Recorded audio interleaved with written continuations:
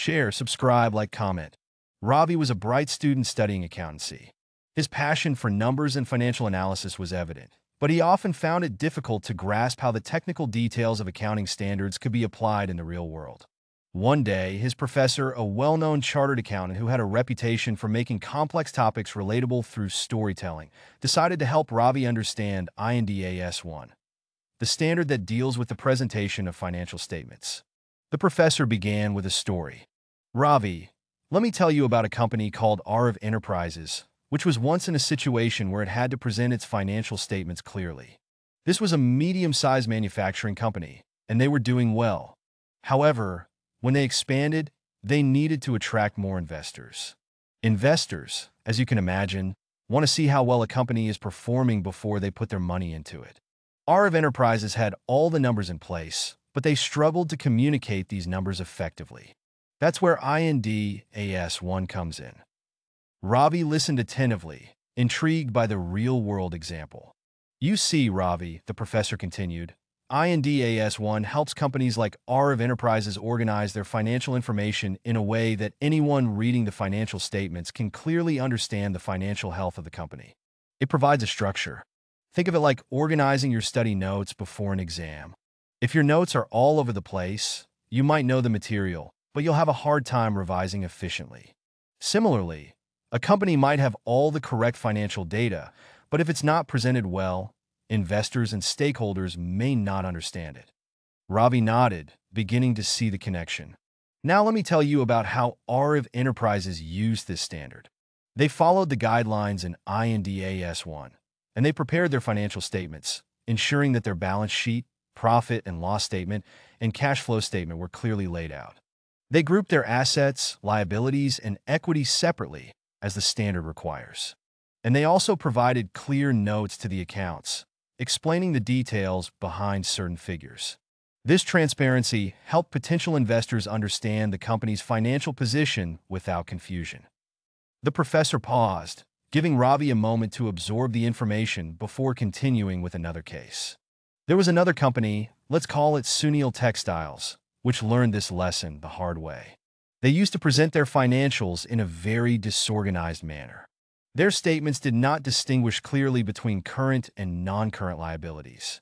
There was no proper classification of their expenses, and their financial statements were difficult to read.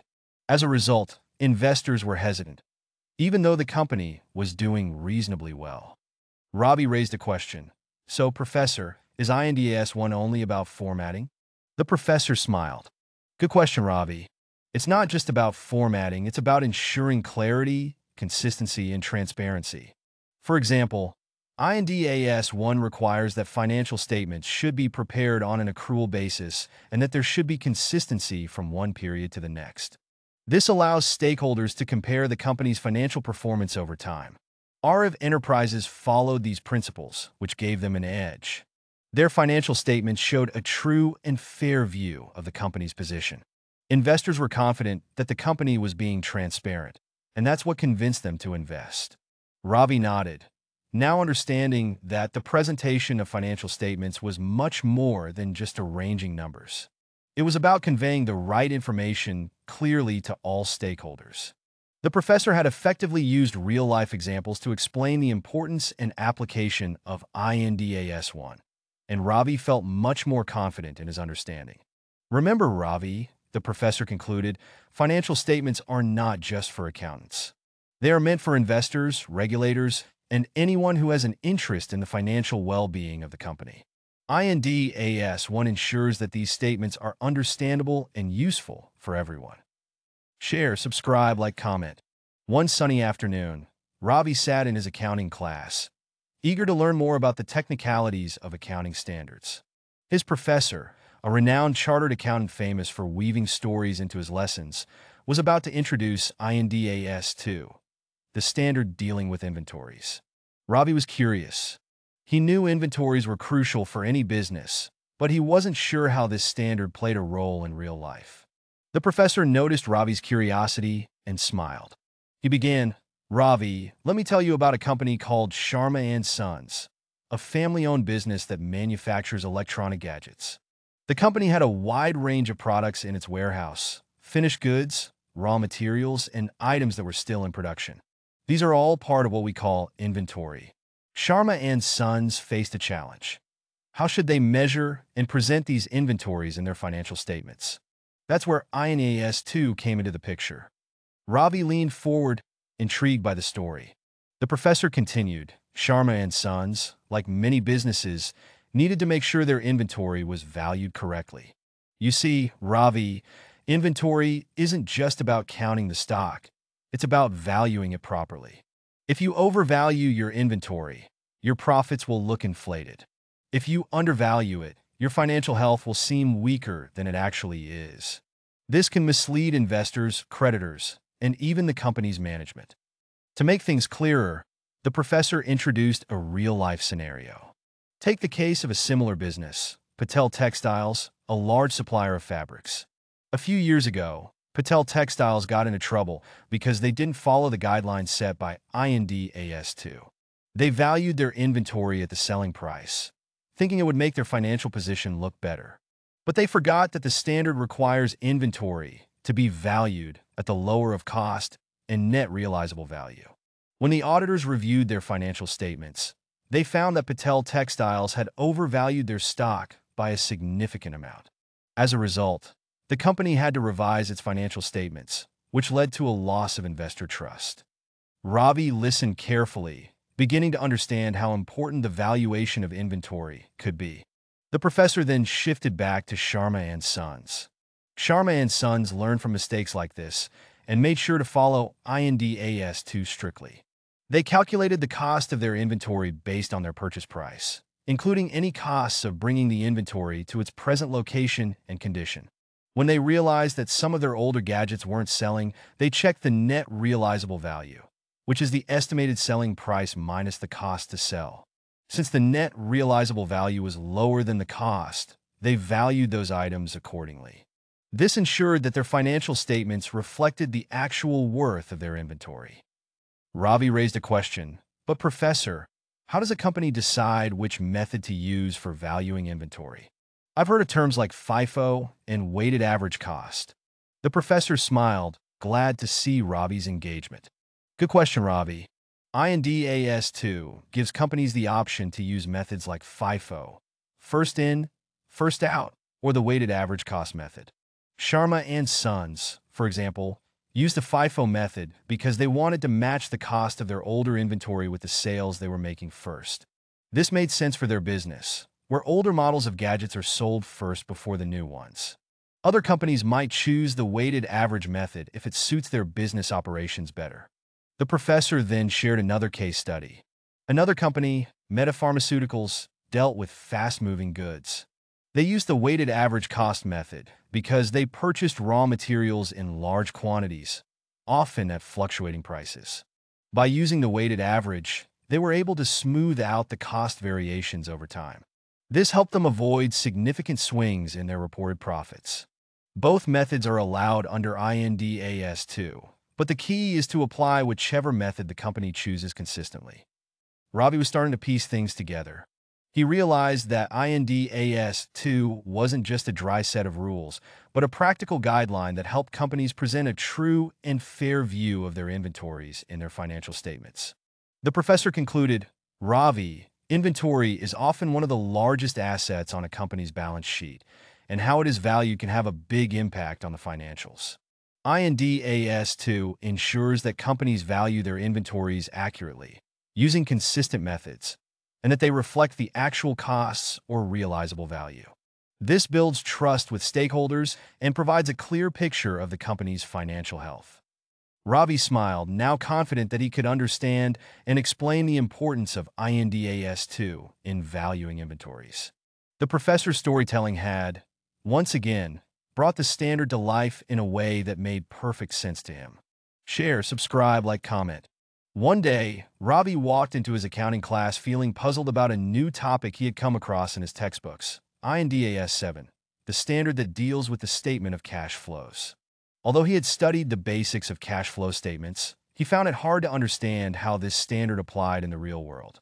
His professor, a well-known chartered accountant with a knack for storytelling, noticed Ravi's confusion and decided to explain the concept through a real-life case.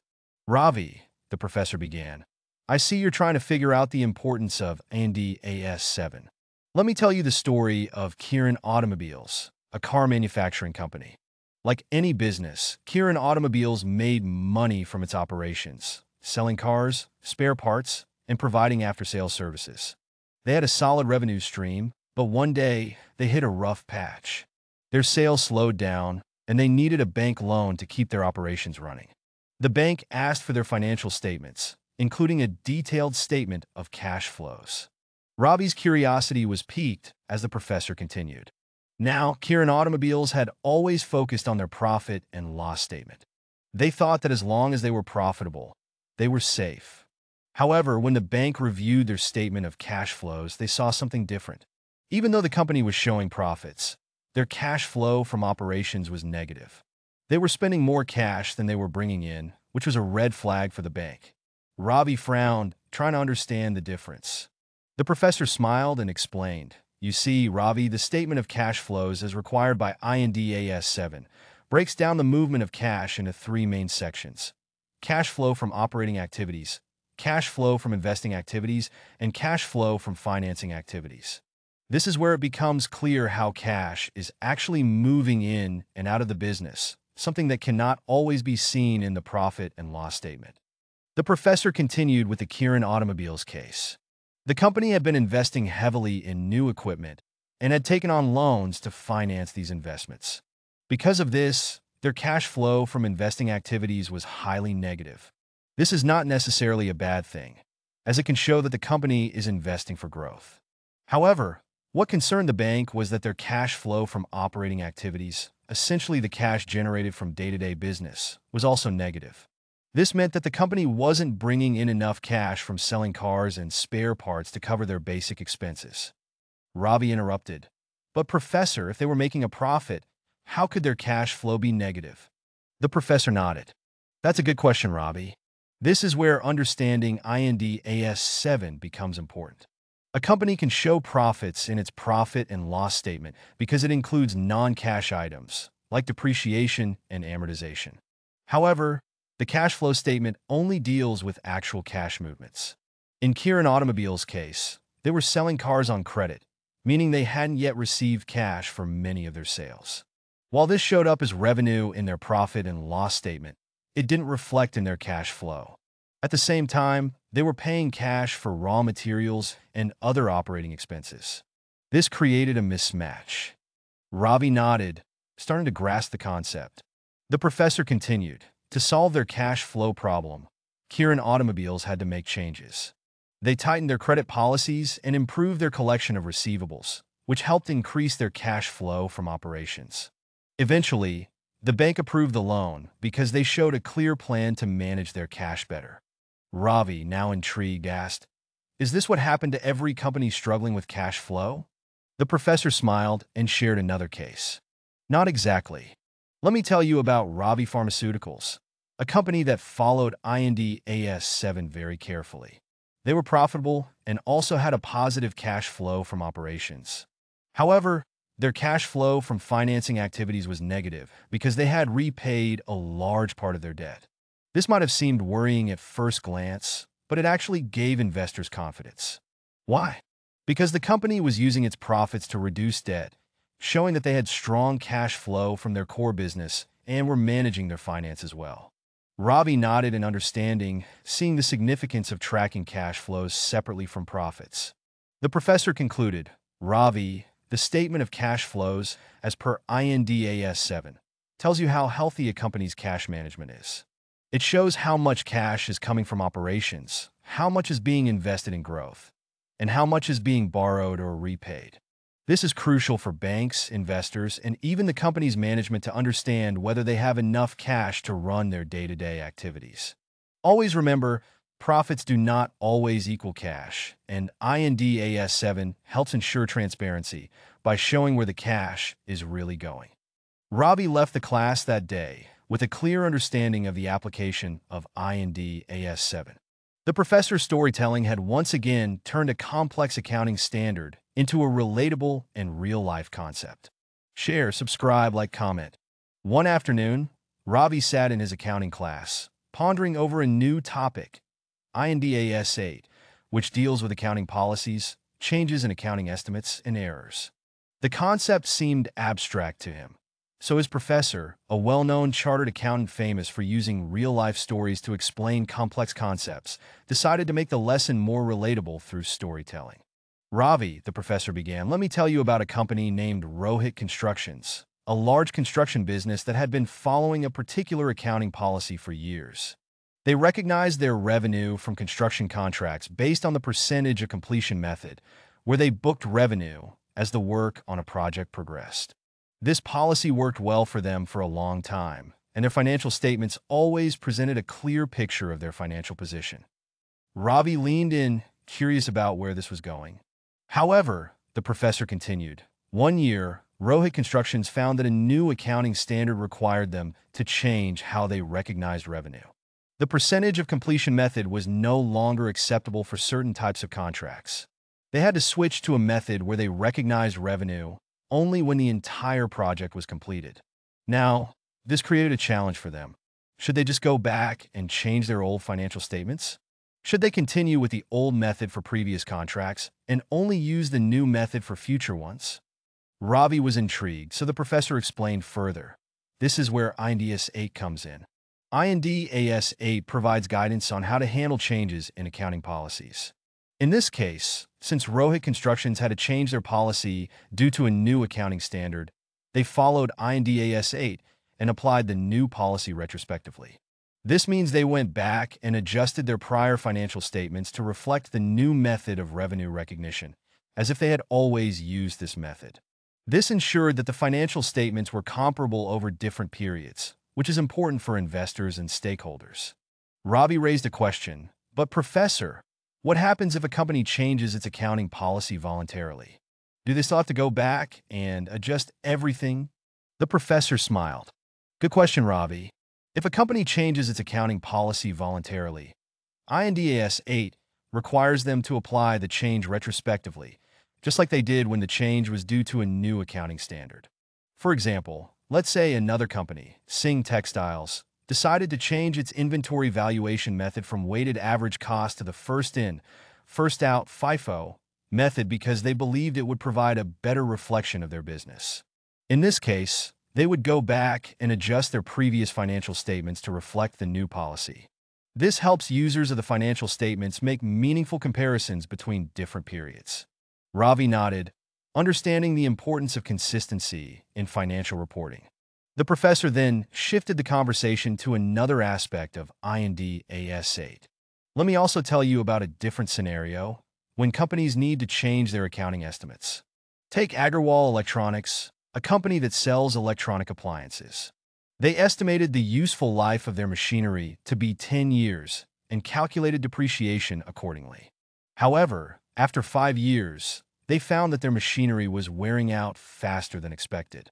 They now needed to adjust the estimated useful life to seven years. Ravi frowned, unsure about how this would be handled. The professor continued, In this case, IND AS 8 allows companies to change accounting estimates prospectively. This means Agarwal Electronics did not need to go back and change the depreciation for the previous five years. Instead, they only applied the new estimate for the remaining two years. Changing an estimate is different from changing an accounting policy. Estimates are based on new information or new developments, and the changes are applied from the point when they become necessary, without adjusting past financial statements. Ravi's eyes lit up with understanding. So, changing estimates is more about looking forward, while changing policies often requires looking back. Exactly, the professor replied, pleased that Ravi was following along. But what happens if a company makes a mistake in their financial statements? Ravi asked. The professor nodded and shared another real-life case. Ah. Let me tell you about Desai Manufacturing, a company that accidentally overstated its revenue by including sales that hadn't actually been completed. This was a material error, meaning it could mislead stakeholders who relied on their financial statements. IND AS 8 provides guidance on how to correct such errors. Desai Manufacturing had to go back and restate their prior period financial statements as if the error had never occurred. This is called retrospective restatement. It ensures that users of the financial statements can trust the information presented, knowing that any material errors have been corrected. Ravi thought for a moment and asked, So the goal of INDAS 8 is to ensure that the financial statements are accurate and comparable, even when policies change or mistakes happen? The professor smiled, pleased with Ravi's summary. Exactly, Ravi. INDAS 8 is all about ensuring transparency and consistency in financial reporting. Whether it's a change in accounting policy, a new estimate, or correcting an error, the standard provides clear guidelines on how to handle these situations. By following these principles, companies like Rohit Constructions, Singh Textiles, Agarwal Electronics, and Desai Manufacturing can maintain the trust of their investors, creditors, and other stakeholders. Ravi left the class that day with a deep understanding of INDAS 8, thanks to the professor's storytelling. He now knew that accounting wasn't just about numbers, but also about how those numbers were presented, adjusted, and corrected over time to reflect the true financial health of a company. Share, subscribe, like, comment. One warm afternoon, Ravi sat in his accounting class, flipping through the pages of his textbook. He had just come across INDAS 10, which talked about events after the reporting period. The concept seemed abstract to him, what kind of events could affect financial statements even after the reporting period had ended? Sensing Ravi's confusion, his professor, a chartered accountant known for his engaging storytelling, decided it was time for another real-life case.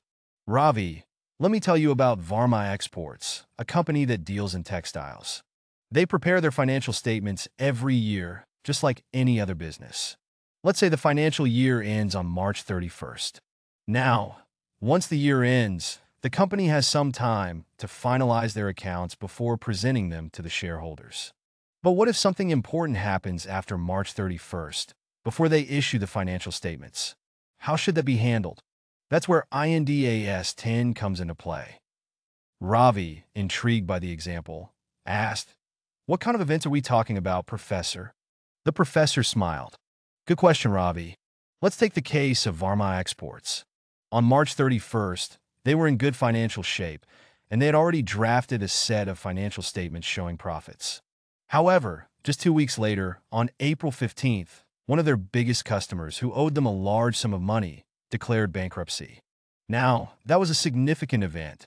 It meant that Varma Exports was unlikely to recover the money owed to them. Under INDAS 10, this is called an adjusting event, and it has to be reflected in their financial statements because it provides additional information about a condition that existed on March 31st. Ravi nodded as the concept began to make sense. So even though the bankruptcy happened after the reporting period, the fact that the customer was struggling with financial issues before March 31st makes it an adjusting event. Exactly, Ravi, the professor said. Varma Exports must adjust their financial statements to reflect the fact that they will not be able to collect the money from this customer they would need to write off or create a provision for the bad debt. This ensures that the financial statements still show a true and fair view of the company's financial position as of March 31st. The professor then shifted to another type of event to help Ravi understand the distinction. Now let me tell you about a different company, Mishra Pharmaceuticals. On March 31st, they finished the year with a healthy balance sheet. A few weeks later, in April, they received news that one of their factories had caught fire and was severely damaged. However, unlike the previous example, this is what we call a non-adjusting event under INDAS 10 because it relates to an event that occurred after the reporting period and the condition did not exist on March 31st. Ravi, now curious, asked, So in this case, they don't need to adjust their financial statements? That's right, the professor replied. For non-adjusting events like this, Mishra Pharmaceuticals does not change their financial statements for the year ending March 31st. However, because this is a significant event, they must disclose it in the notes to the financial statements. They would provide details about the fire, the potential losses, and how they plan to handle the situation. This ensures transparency, even though the financial numbers for the reporting period remain the same. Ravi, beginning to see the full picture, asked, so the main point of INDAS 10 is to make sure that financial statements provide relevant information, even after the reporting period, right? The professor nodded, pleased with Ravi's understanding. Exactly, Ravi. IND-AS 10 ensures that companies either adjust their financial statements or disclose important events that happen after the reporting period, but before the financial statements are issued. This keeps investors and stakeholders informed of any major changes that might affect their decisions. The professor continued with another real-life example. There was once a company called Desai Motors that didn't follow IND-AS 10 properly. After their reporting period ended, but before their financial statements were finalized, they lost a major legal case, which resulted in a significant financial liability. However, they didn't disclose this event or adjust their financials, thinking it happened after the reporting period, so it didn't matter. When investors found out later, the company's stock price plummeted, and they lost the trust of their stakeholders. They had failed to recognize that this legal case, although decided after the reporting period, had been ongoing during the year and should have been considered an adjusting event. Ravi leaned back in his chair, thinking deeply. So, it's not just about what happens after the year ends, but also about whether the event relates to conditions that existed during the reporting period. The professor smiled and said, Exactly. IND-AS 10 draws a line between adjusting and non-adjusting events, making sure that the financial statements remain reliable. For adjusting events, like the bankruptcy of Varma Exports customer, the financials must be changed. For non-adjusting events, like the fire at Mishra Pharmaceuticals, the company discloses the event, but the numbers stay the same. Ravi now understood the importance of IND-AS 10. It wasn't just about closing the books at the end of the year, but about making sure that any significant events, whether adjusting or non-adjusting, were either reflected in or disclosed through the financial statements. Thanks to the professor's storytelling, the standard had come to life for him. Share, subscribe, like, comment. One afternoon, Ravi sat in his accounting class trying to make sense of IND-AS 12, which deals with income taxes. The professor, known for using real-life stories to explain complex topics, noticed Ravi's puzzled look and decided to introduce him to the standard with a story. Ravi, the professor began, let me tell you about a company called Mehta Manufacturing. They were doing well in their business of producing steel parts and have been profitable for the past few years. When it came to paying taxes like every other company, they paid based on their taxable profits. However, the year-end financial statements presented a more complex picture. The profits in their financial statements were different from what they had reported for tax purposes. How can this happen? Ravi frowned, wondering how profits could differ between financial statements and tax returns. Let me explain, said the professor. IND-AS 12 deals with the differences between accounting profit and taxable profit. These differences arise because the rules for calculating profits in financial statements are different from the rules for calculating profits for tax purposes. Some expenses might be allowed in the financial statements but not deductible for tax and some income might be taxable in a different year than it appears in the financials. Ravi was intrigued and asked, But how does that affect the financial statements, Professor? The professor smiled. Good question, Ravi. This is where IND-AS 12 helps. Let me give you an example. Mehta Manufacturing invested in a new machine, and for accounting purposes, they depreciated it over 10 years. But for tax purposes, the tax authorities allowed them to claim the entire depreciation over five years. This created a difference between the profit reported in their financial statements and the profit they reported for tax. Ravi was beginning to follow, so the professor continued. Because of this difference, Mehta Manufacturing ended up paying less tax in the first few years since their taxable profit was lower. However, in the future, they will have to pay more tax because the depreciation for tax purposes will be finished, but they'll still have depreciation left in their financial statements. IND-AS 12 tells us to recognize this difference now, even if the tax will be paid in the future. This is called a deferred tax liability. It's an obligation the company will have to pay in the future, and IND-AS 12 requires us to reflect it in the financial statements. Ravi nodded, starting to grasp the concept. So, even though they're paying less tax now, they need to show that they'll pay more in the future? Exactly, the professor said. And it works the other way, too. Let me tell you about Sharma Pharmaceuticals. They developed a new drug, but the government gave them a tax holiday, meaning they wouldn't have to pay any tax for the first three years. In their financial statements, they showed the profits they earned, but for tax purposes, they didn't have to pay anything during the holiday period. However, once the holiday period ended, they would have to start paying tax again. Ravi interrupted. So, oh, does that mean they don't have to worry about taxes for three years? The professor smiled. Not exactly, Ravi. IND AS 12 tells us that even though they don't pay tax now, they should recognize what's called a deferred tax asset.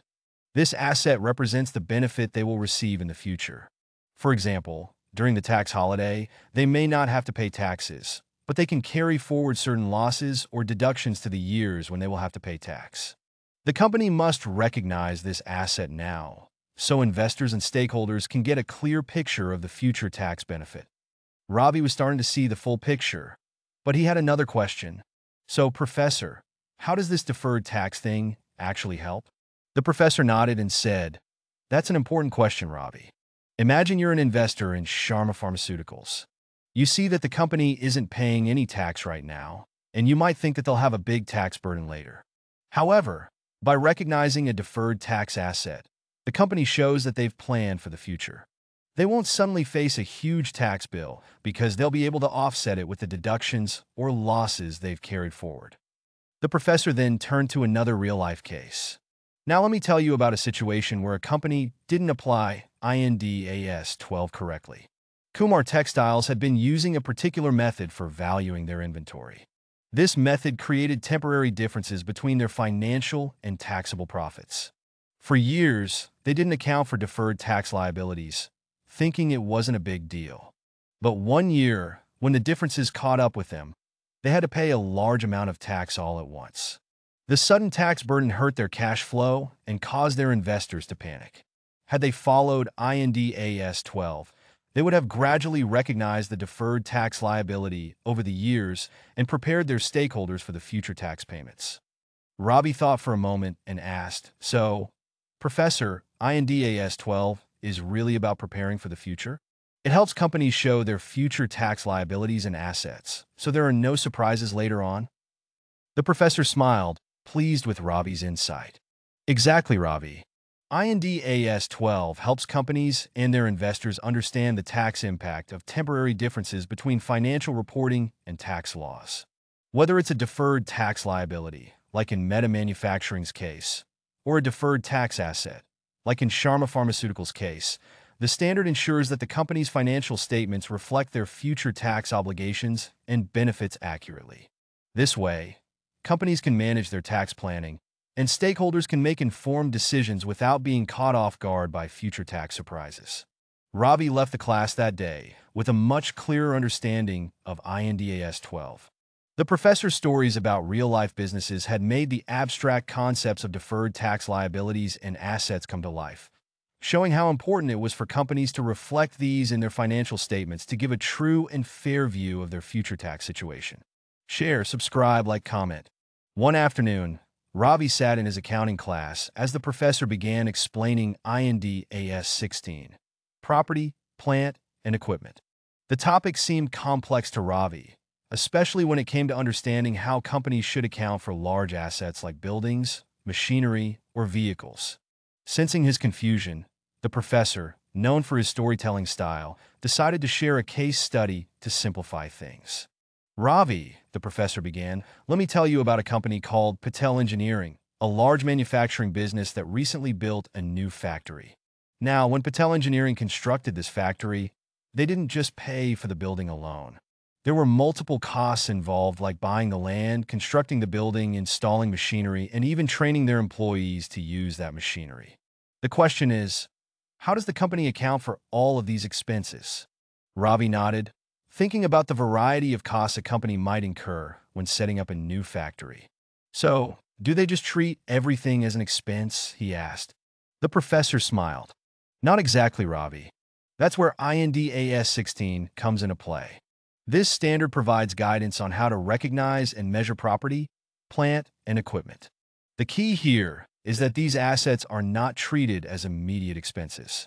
Instead, they are recognized as capital assets and recorded in the balance sheet.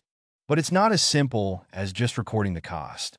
INDAS 16 requires that all directly attributable costs of bringing the asset to its working condition be included in the cost of the asset. Ravi, still following, asked, What do you mean by directly attributable costs, Professor? Well, the professor continued, let's take the example of Patel Engineering's new factory. The cost of the land and the cost of constructing the building are obvious. But in addition to that, any costs directly related to getting the factory ready for use, such as transportation of the machinery, installation costs, and even fees for architects and engineers, are all part of the cost of the asset. Even the costs for testing the machinery to ensure it's working properly before production starts are included. Ravi leaned forward, starting to understand the concept. So, everything that's necessary to get the asset up and running becomes part of the cost of the asset? Exactly, Ravi, the professor confirmed. But it doesn't end there. IND AS 16 also requires companies to consider how they will depreciate these assets over time. You see, property, plant, and equipment don't last forever. They wear out or become obsolete.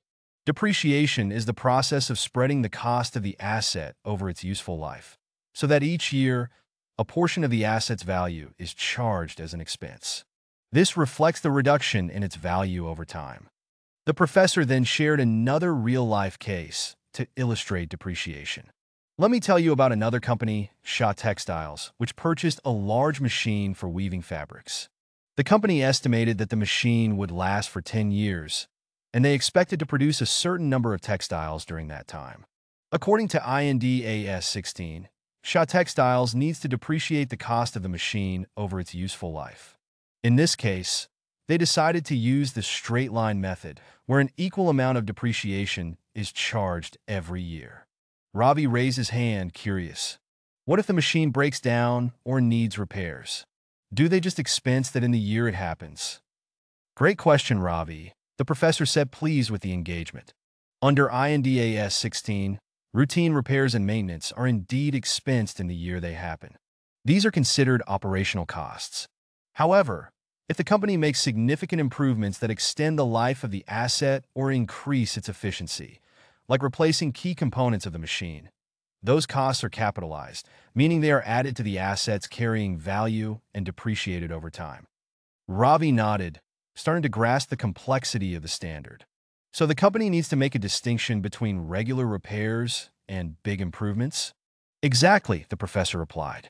This distinction ensures that companies don't inflate their profits by capitalizing expenses that should be charged in the current year. The professor then shifted the discussion to disposal of assets. Now, Ravi, what happens when a company decides to sell or dispose of an old asset, like an outdated machine? Ravi thought for a moment and responded, Do they remove the asset from their books? The professor smiled and said, That's right. When an asset is disposed of, whether it's sold or scrapped, the company removes the asset's carrying amount from its balance sheet. The carrying amount is the original cost of the asset minus the accumulated depreciation. If the company sells the asset for more than its carrying amount, they recognize a gain. If they sell it for less, they recognize a loss. This is another important part of IND AS 16. To make things even clearer, the professor shared another real-life case study. Let me tell you about Gupta Constructions, a real estate company that decided to sell an old office building. The building had been on their balance sheet for years and had been depreciated. When they sold it, they made a profit because the selling price was higher than the carrying amount of the building. This gain was recognized in their profit and loss statement.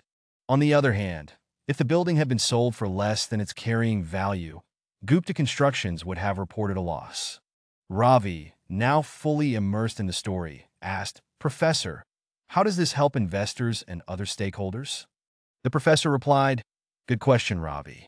IND AS 16 ensures that companies accurately reflect the value of their assets and the wear and tear they experience over time. Depreciation helps match the cost of the asset to the revenues it generates, giving a true and fair view of the company's profitability. This transparency helps investors and other stakeholders make informed decisions about the company's financial health. The professor concluded with one final note. Remember Ravi, IND AS 16 isn't just about buying and selling assets.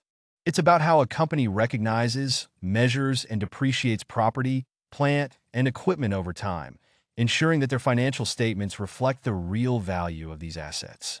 Whether it's Patel Engineering's factory, Shah Textiles machinery, or Gupta Construction's office building, this standard ensures that companies are providing accurate and reliable information to their stakeholders.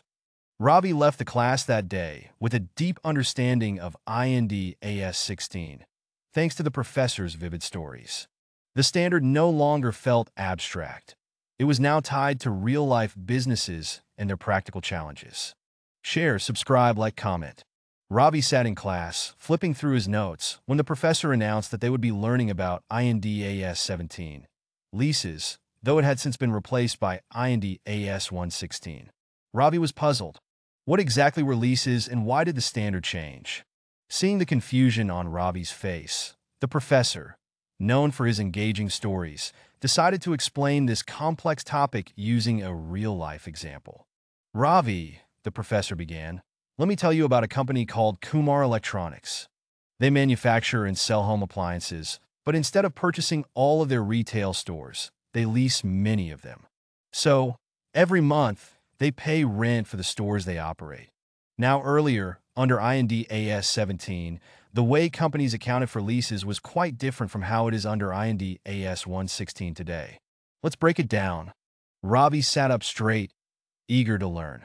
So, Professor, how did they account for leases under IND AS 17? The professor smiled. Good question, Ravi. Under IND AS 17, leases were classified into two categories operating leases and finance leases. Let's take the example of Kumar Electronics. If they entered into a lease for one of their stores that didn't involve any ownership transfer, it was classified as an operating lease. This meant that every month, they simply expensed the rent payment in their profit and loss statement. There was no asset or liability recorded on their balance sheet. It was almost as if the lease never existed from a financial position point of view. Ravi furrowed his brow. So the company could lease multiple properties, but it wouldn't show up on their balance sheet? Exactly, the professor said. That's how operating leases worked under INDAS 17. The lease payments were treated like regular operating expenses, and that was it.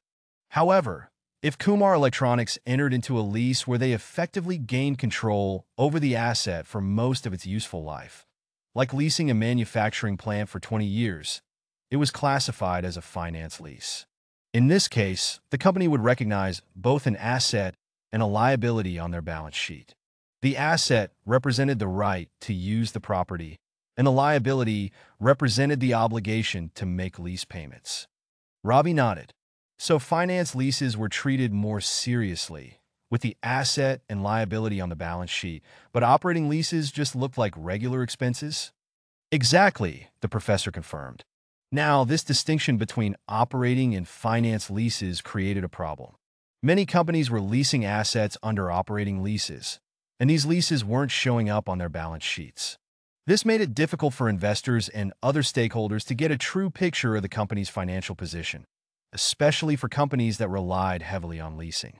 That's one of the reasons why IND AS 116 was introduced, to provide more transparency. Ravi leaned forward curious, so what changed with IND AS 116, Professor? The professor's eyes lit up as he continued. Let me tell you about another company, RAL Logistics. They transport goods across the country, and most of their trucks are leased. Under INDAS 116, there's no longer a distinction between operating and finance leases for lessees.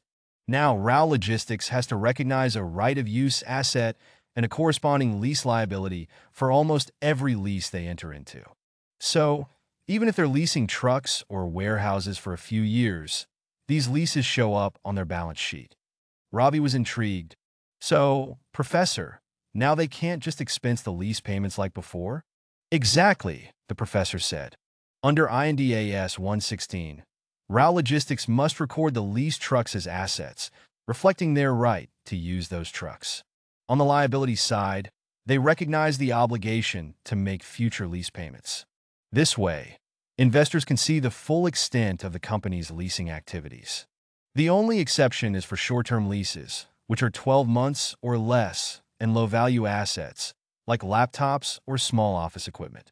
For those, companies can still expense the payments, just like under INDAS 17. Ravi was starting to understand the significance. So, INDAS 116 makes sure that companies can't hide their leasing commitments off the balance sheet? Exactly, the professor said, pleased with Ravi's insight. This provides more transparency to stakeholders. Imagine if RAL Logistics had been leasing hundreds of trucks under operating leases. Under INDAS 17, these leases wouldn't have appeared on their balance sheet, making the company look less indebted than they actually were. But under INDAS 116, all of these lease commitments are now visible on their balance sheet, showing the real financial position. The professor then shared another real-life case. Let me tell you about a company called Desai Restaurants. They lease most of their outlets across India. Earlier, under INDAS 17, they only showed the lease payments as an expense, and none of the leases appeared on their balance sheet. But after the transition to IND AS 116, Desai restaurants had to recognize a significant amount of lease liabilities for all their outlets. This suddenly made their balance sheet look more leveraged, but it gave a more accurate picture of their financial health. Ravi raised his hand. So, Professor, does this mean companies are more cautious about entering into leases now? The professor nodded. Yes, Ravi. Companies are definitely more careful now since IND AS 116 requires them to show both the asset and the liability. They think twice before entering into large or long-term leases. It also affects financial ratios, like the debt-to-equity ratio, making the company look more indebted than before. But in reality, it's just providing a clearer picture of their financial commitments. Ravi thought for a moment and asked, how does this affect the profit and loss statement? Do they still expense the lease payments? The professor explained, good question. Under IND AS 116, the lease payments are no longer expensed directly. Instead, the company depreciates the right-of-use asset over its useful life, and they also recognize interest on the lease liability. This changes the way leases impact the profit and loss statement. Instead of seeing a simple lease expense, you'll see depreciation and interest, which can affect how the company's profitability looks in the short term. Ravi nodded, now understanding why INDAS 116 had replaced INDAS 17. It wasn't just about accounting for leases differently. It was about ensuring that companies were transparent in showing the true impact of their leasing activities on their financial position.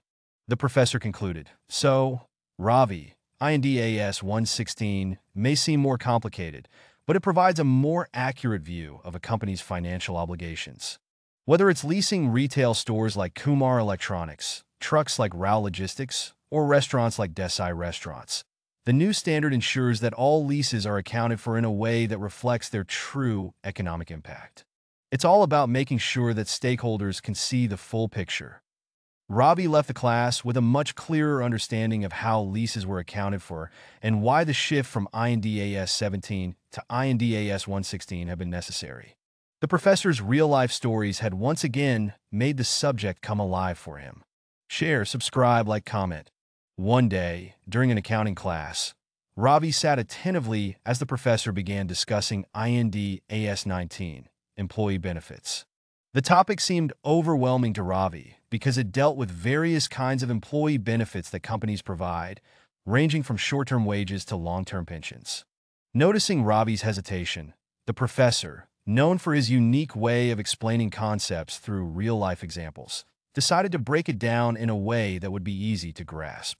Ravi, the professor began, imagine you're working for a company called Singh Enterprises, a large manufacturing firm. This company provides different kinds of benefits to its employees, like monthly salaries, bonuses, leave encashments, and even a pension plan for those who retire after years of service. Now, how do you think the company accounts for all these benefits? Ravi thought for a moment. Well, they must just record them as expenses, right? The professor smiled.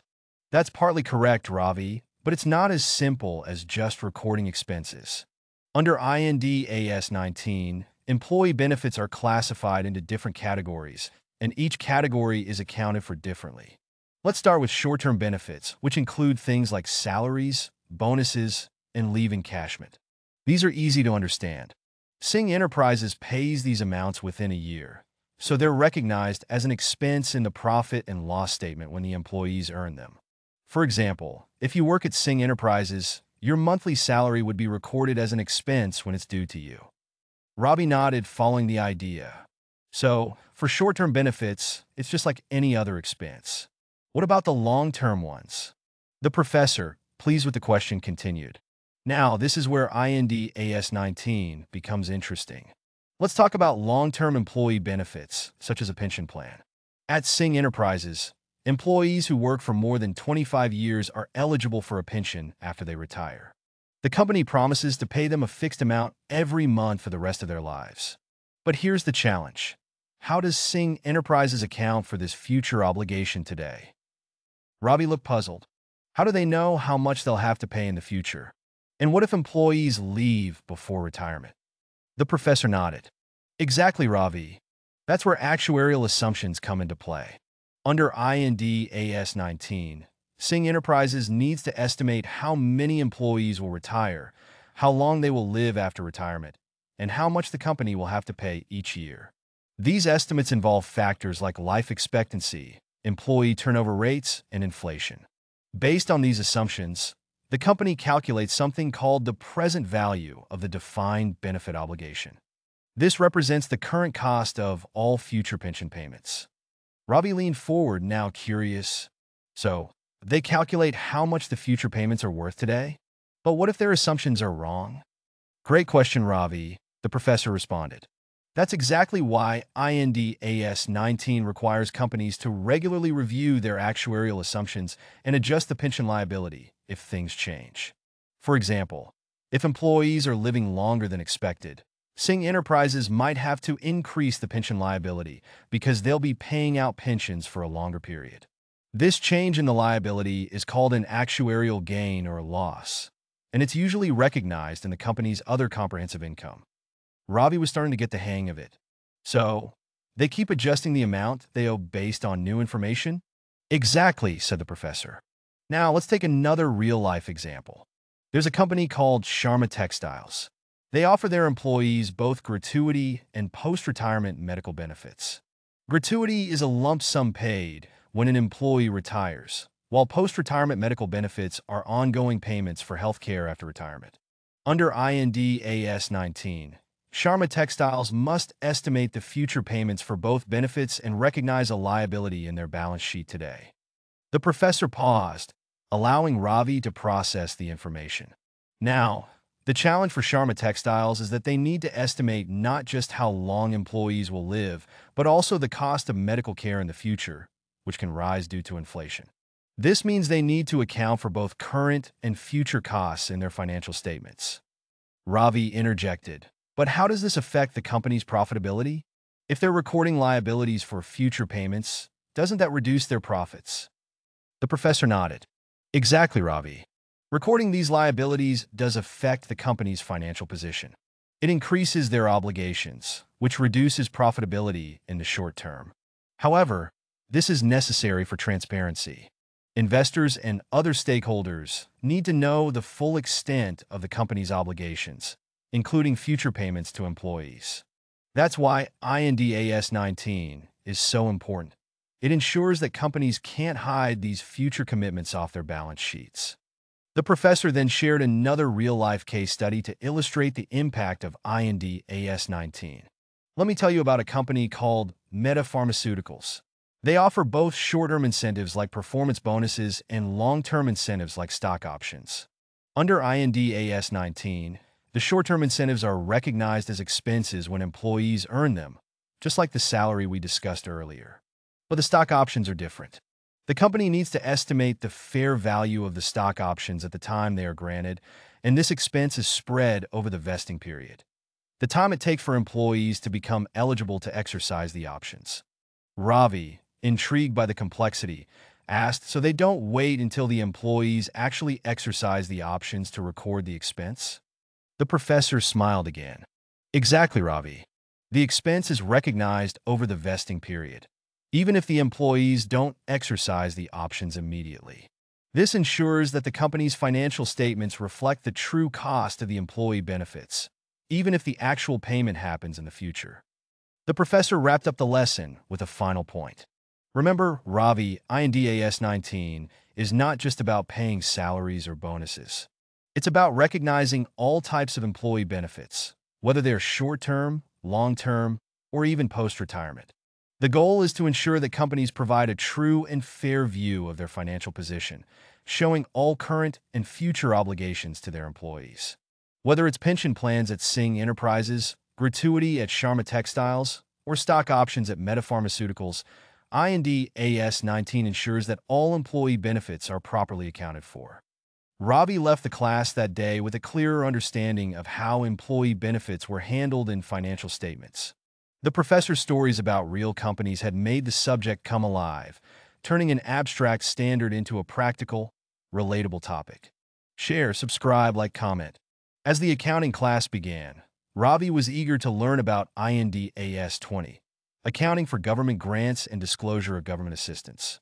The concept seemed complicated, and Ravi felt a bit lost.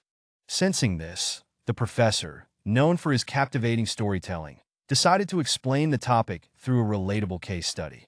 Ravi, the professor started, let me tell you about a company called Aurora Manufacturing, which produces eco-friendly products.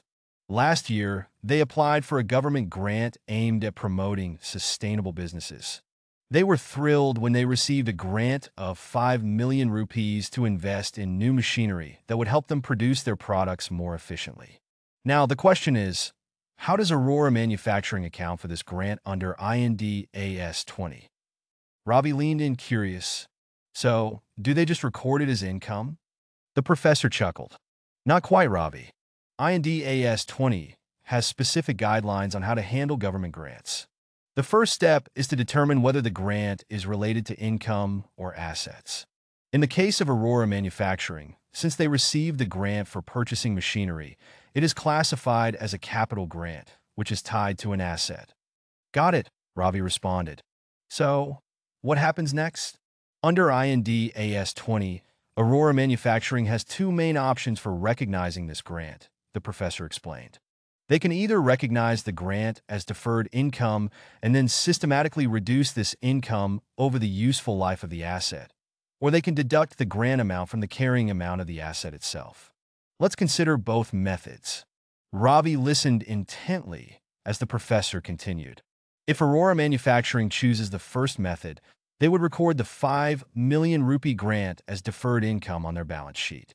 Then, as the machinery is used, they would recognize portions of this grant as income, which offsets the depreciation expense of the machinery each year. For example, if the machinery has a useful life of 10 years, they would recognize 500,000 rupees as income each year.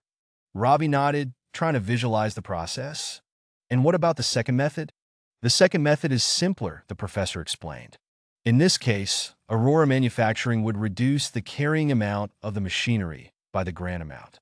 So, if the machinery costs 10 million rupees, they would show it as only 5 million rupees on their balance sheet. This means that the depreciation expense would also be lower, as they would be depreciating a smaller amount. Ravi smiled, now understanding the options.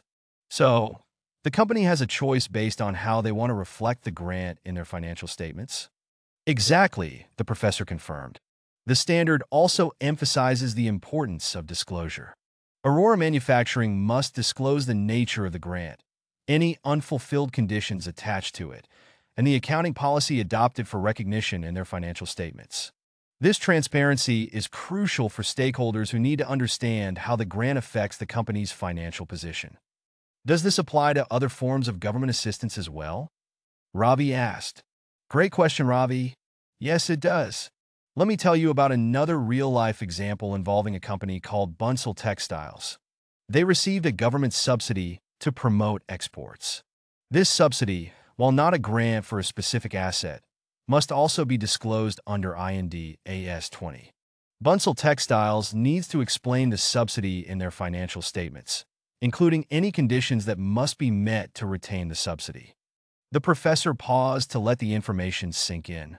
The key takeaway is that whether it's a grant for machinery like Aurora Manufacturing or a subsidy for exports like Bansal Textiles, IND AS 20 ensures that companies are transparent about the benefits they receive from the government and how these benefits impact their financial statements.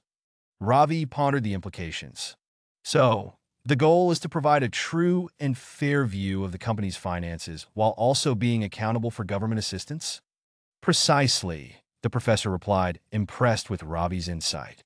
The regulations ensure that financial statements reflect not just the economic reality of the company, but also the support it receives from the government. This transparency helps investors and other stakeholders make informed decisions. The professor's stories about Aurora Manufacturing and Bansal Textiles had made the concept of government grants and disclosures accessible, transforming a complex accounting standard into a clear and engaging narrative. Share, subscribe, like, comment. As the accounting class commenced, Ravi was keen to grasp the intricacies of INDAS 21, the effects of changes in foreign exchange rates. The professor, known for his engaging storytelling, recognized Ravi's eagerness and decided to illustrate the concept through relatable case studies. This company operates in India but sources its products from places like the United States and Japan. Now, let's say Global Traders purchases components worth 100,000 US dollars. When they make this purchase, they need to consider the exchange rate between the Indian rupee and the US dollar. Exactly, the professor confirmed. However, the challenge arises because exchange rates fluctuate. Suppose the payment is not made immediately and after a month, the exchange rate changes to 78 rupees to $1. When global traders finally pays for the components, they would then need to pay 78 lakh rupees instead of 75 lakh. This situation creates a foreign exchange loss of 3 lakh rupees. Ravi raised his eyebrows. So, they would have to account for that loss in their financial statements? Correct, Ravi. Under INDAS 21, the company must recognize exchange differences arising from the settlement of monetary items, like payables and receivables, in profit or loss. Now, let's look at another scenario to understand the implications further. The professor continued, Imagine that Global Traders also has a foreign currency account in Japan where they maintain a balance of 1 million Japanese yen. At the beginning of the year, the exchange rate is 5 rupees to 1 yen, meaning the account value is 5 lakh rupees. As the year progresses, the value of the yen appreciates, and the exchange rate shifts to 4 rupees per yen by year end. Ravi listened intently, intrigued by the concept.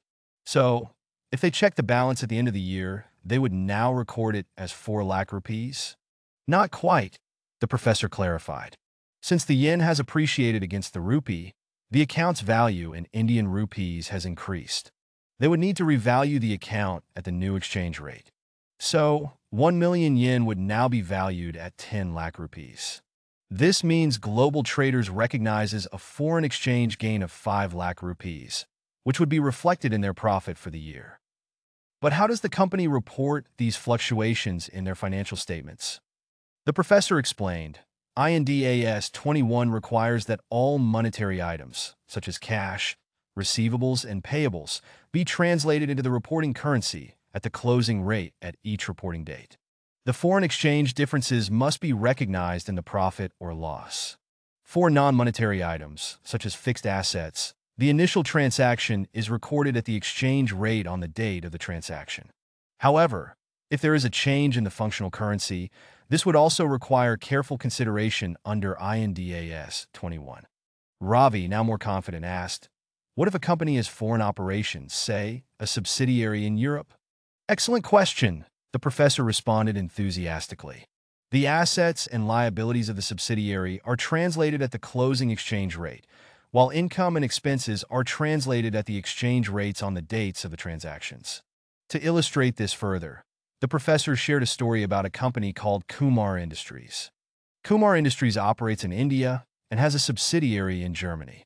When they consolidate their financial statements, they translate the subsidiary's assets and liabilities into Indian rupees.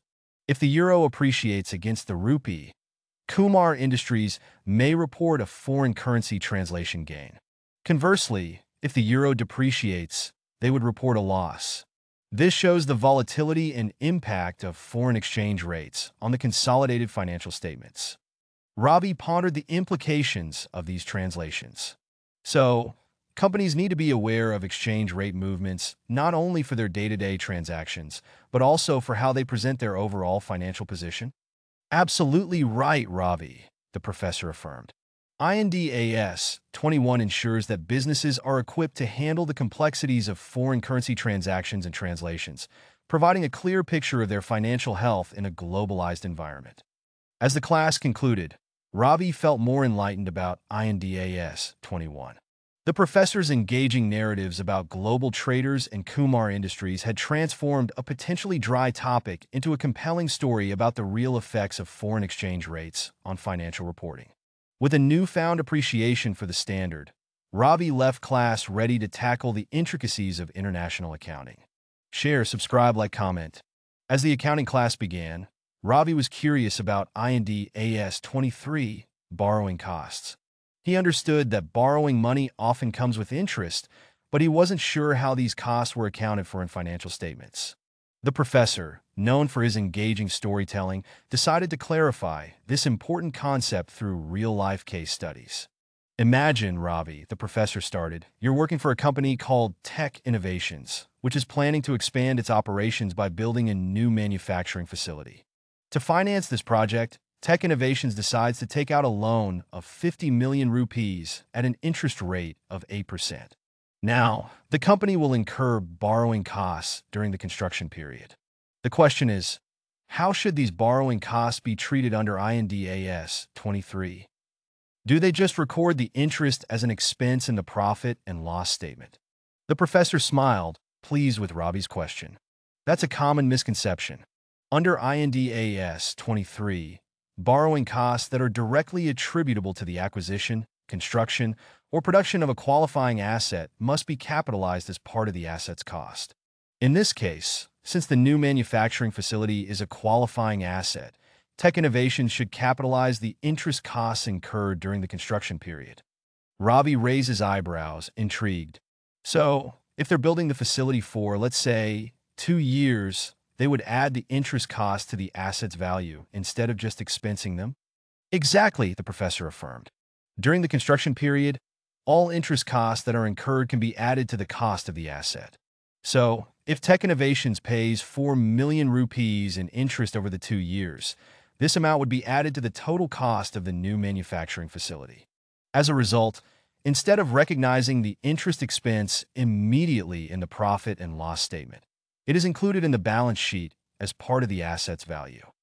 Interesting, Ravi said, beginning to connect the dots. But what if the project takes longer than expected?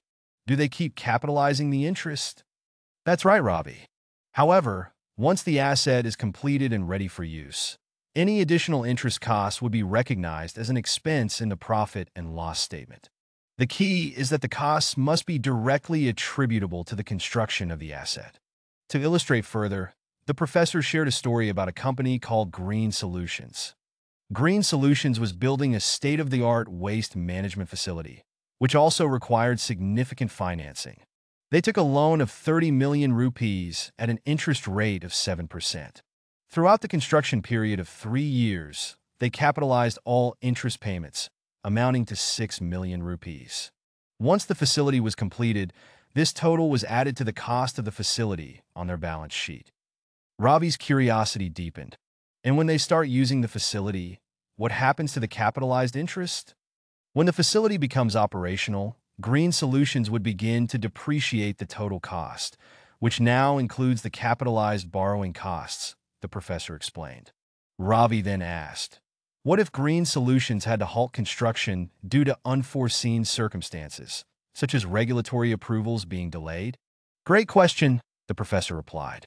In such cases, INDAS 23 stipulates that if the asset is not being constructed, borrowing costs incurred during this period should not be capitalized. Instead, they would be recognized as an expense in the profit and loss statement. Companies need to assess when to halt the capitalization of borrowing costs carefully. Consider Mohan Constructions, which undertook a large infrastructure project funded by a loan. During this period, they had to expense the interest costs because the project was no longer a qualifying asset for capitalization. This highlights the importance of assessing the eligibility of borrowing costs in relation to the asset's construction timeline. Ravi absorbed the information, realizing the importance of INDAS 23. So, It's crucial for companies to track borrowing costs accurately, especially in long-term projects. Absolutely, Ravi, the professor affirmed. Understanding how to manage and account for borrowing costs can significantly impact a company's financial statements. Properly capitalizing these costs provides a more accurate picture of an asset's true cost and helps in presenting a clearer financial position. As the class concluded, Ravi felt empowered with a deeper understanding of INDAS 23. With this knowledge in hand, Ravi was ready to tackle the nuances of borrowing costs in financial reporting. As the accounting class got underway, Ravi was eager to learn about IND AS 24 related party disclosures. He understood that relationships could complicate financial reporting, but he was unsure how this standard worked in practice. The professor, known for his storytelling prowess, decided to clarify this concept through a series of engaging case studies. Imagine, Ravi, the professor began, that you are working for a company called Innovative Solutions, which specializes in software development. Recently, Innovative Solutions entered into a contract with a company called Tech Supplies, owned by Ravi's uncle. This relationship could have implications for how the financial statements are prepared. The question is, how does INDAS 24 govern related party disclosures in this scenario? Ravi leaned forward, intrigued. Exactly, the professor affirmed. Under IND AS 24, a related party is defined as a person or entity that is related to the reporting entity. This includes key management personnel, family members of key management personnel, and entities controlled or significantly influenced by such individuals. In this case, because your uncle owns tech supplies, Innovative Solutions must disclose this relationship in their financial statements. Ravi nodded, beginning to see the implications. But what else do they need to disclose? The professor continued, the standard requires disclosure of transactions with related parties as well. For example, if Innovative Solutions purchases software licenses from Tech Supplies for 10 lakh rupees, they must not only disclose the relationship but also provide details of the transaction. This includes the nature of the transaction, the amounts involved, and any outstanding balances at the reporting date. The aim is to ensure transparency and inform users of the financial statements about the potential impact of these related party transactions on the entity's financial position. Does this mean they have to disclose the terms of the transactions as well? Ravi asked, seeking clarity. Absolutely, the professor replied. Innovative Solutions must disclose whether the transactions were conducted on terms equivalent to those prevailing in an arm's length transaction, meaning that the terms should be similar to those that would be agreed upon by unrelated parties. If the terms were favorable or unfavorable compared to market conditions, this must also be disclosed. To further illustrate, the professor shared a story about another company, Green Electronics. Green Electronics had a director who was also a major shareholder in a supplier company called Bright Parts. Last year, Green Electronics entered into a significant purchase agreement for components worth 20 lakh rupees. Due to the director's interest in Bright Parts, Green Electronics disclosed the nature of the relationship, the amount of the transaction, and noted that the prices were comparable to market rates. Ravi listened attentively, understanding the need for transparency. How does the company determine who qualifies as a related party? Good question, Ravi. Under IND AS 24, companies are required to assess relationships at the control level. They must consider not only direct relationships, but also indirect ones.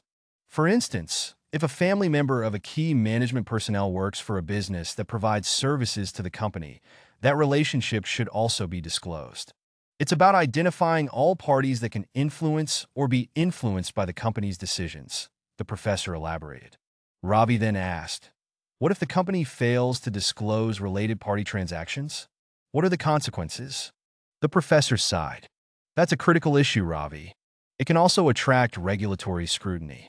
In serious cases, it may result in legal consequences for the company and its directors, as noncompliance with INDAS 24 could be seen as a violation of fiduciary duties.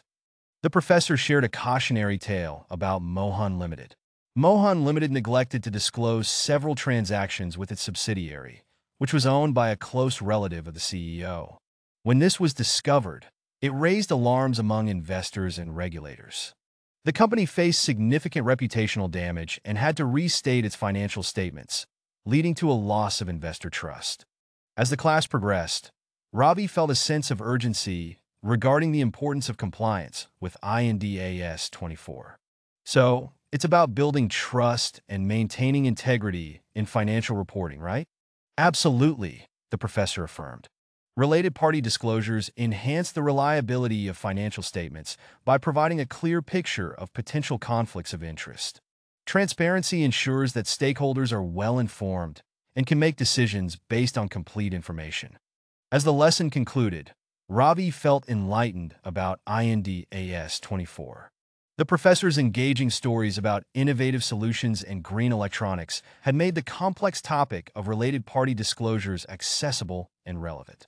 With this newfound knowledge, Ravi was prepared to approach related party transactions with the seriousness and diligence they warranted, ensuring transparency in his future financial reporting endeavors. Share, subscribe, like, comment. As the accounting class commenced, Ravi was excited to delve into IND AS 27 separate financial statements. He had a basic understanding of financial reporting, but was unsure about the significance of separate financial statements.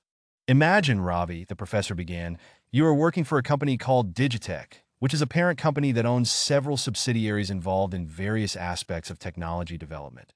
Now, Digitech needs to prepare its separate financial statements, which means it will report its financial position, performance, and cash flows independently of its subsidiaries. Ravi leaned forward, intrigued. So, the separate financial statements are specifically for Digitech, separate from its subsidiaries? Exactly, the professor affirmed. Under IND AS 27, a parent company can prepare separate financial statements in which it accounts for its investments in subsidiaries, associates, and joint ventures using the cost method or the equity method. This means Digitech will present its assets, liabilities, and equity without consolidating the results of its subsidiaries. Ravi contemplated this for a moment. Correct, Ravi, the professor explained. If Smart Solutions is performing well, that performance may increase the value of Digitech's investment over time, but this will not be reflected until Digitech decides to sell or revalue that investment. To deepen Ravi's understanding, the professor shared a story about Tech Giants Limited. Tech Giants, a parent company, had several subsidiaries engaged in different technologies, including a software development firm and a hardware manufacturing company. In its separate financial statements, Tech Giants reported the investments in its subsidiaries using the cost method. If the software development firm had initially been acquired for 10 crore rupees, that amount would be recorded as the investment in the separate financial statements. Any dividends received from the subsidiary would be recognized as income in the profit and loss statement of tech giants. Ravi was beginning to grasp the nuances. And if Tech Giants decides to increase its stake in the software firm, would it account for that differently? Great observation, Ravi, the professor replied.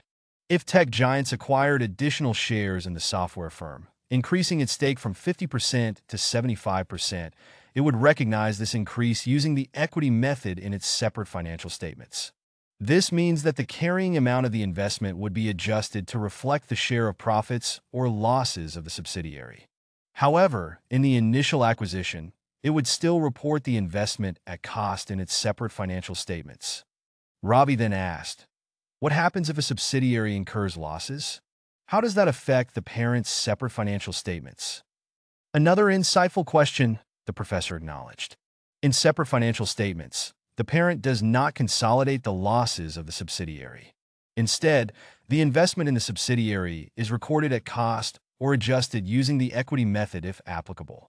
So, if the subsidiary incurs losses, it does not directly reduce the parent's profit. However, if the losses are significant, the parent may need to assess the recoverable amount of the investment and may have to recognize an impairment if necessary. The professor provided a real-world example to illustrate the point. Consider ABC Holdings, which invested in a loss-making subsidiary called XYZ Innovations. Despite the losses, ABC Holdings maintained its investment in the separate financial statements at cost.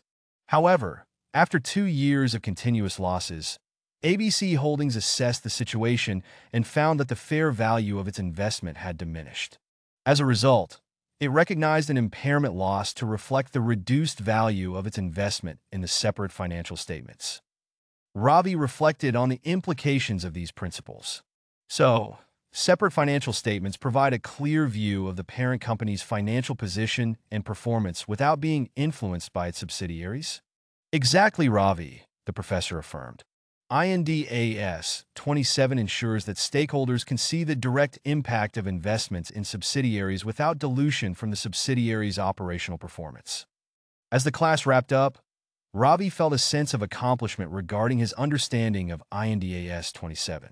The professor's engaging narratives about Digitech and tech giants had transformed a complex topic into a relatable and relevant subject. With this newfound knowledge, Ravi was ready to approach separate financial statements with confidence, appreciating their role in providing clarity and transparency in financial reporting. Share, subscribe, like, comment. As the accounting class began, Ravi was eager to learn about INDAS 28, investments in associates and joint ventures. The professor, renowned for his storytelling, decided to explain this concept through engaging real-life case studies. This partnership was structured as a joint venture, where both companies would share control over the project. The question is, how does INDAS 28 guide Global Tech in reporting its investment in this joint venture? So, Global Tech would account for its investment in Eco Solutions differently than it would for a regular investment, right? Exactly, the professor confirmed. Under INDAS 28, a joint venture is defined as a contractual arrangement whereby two or more parties undertake an economic activity that is subject to joint control. This means that global tech must account for its investment in eco solutions using the equity method. This method requires the investor to recognize its share of the joint venture's profits or losses in its own financial statements. Ravi furrowed his brow, trying to understand. So, if Eco Solutions earns profits, Global Tech would recognize a portion of those profits in its own financial statements. Correct, Ravi, the professor replied. For example, if Eco Solutions made a profit of 2 crore rupees and Global Tech owns 50% of the joint venture, it would recognize 1 crore rupees as its share of profit. This recognition happens in the profit and loss statement of Global Tech, increasing its earnings for the period. To provide more clarity, the professor shared a story about Technopartners. Technopartners, a software development company, entered into a joint venture with Green Innovations to create eco-friendly software solutions. Techno Partners invested 10 crore rupees in the joint venture.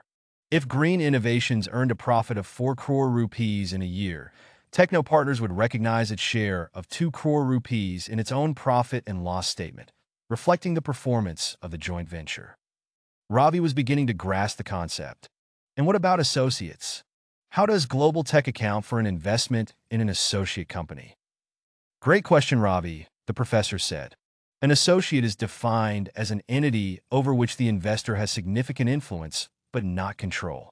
Significant influence usually means owning 20 to 50% of the voting power. If Global Tech invested in tech supplies, owning 30%, it would also use the equity method to account for this investment.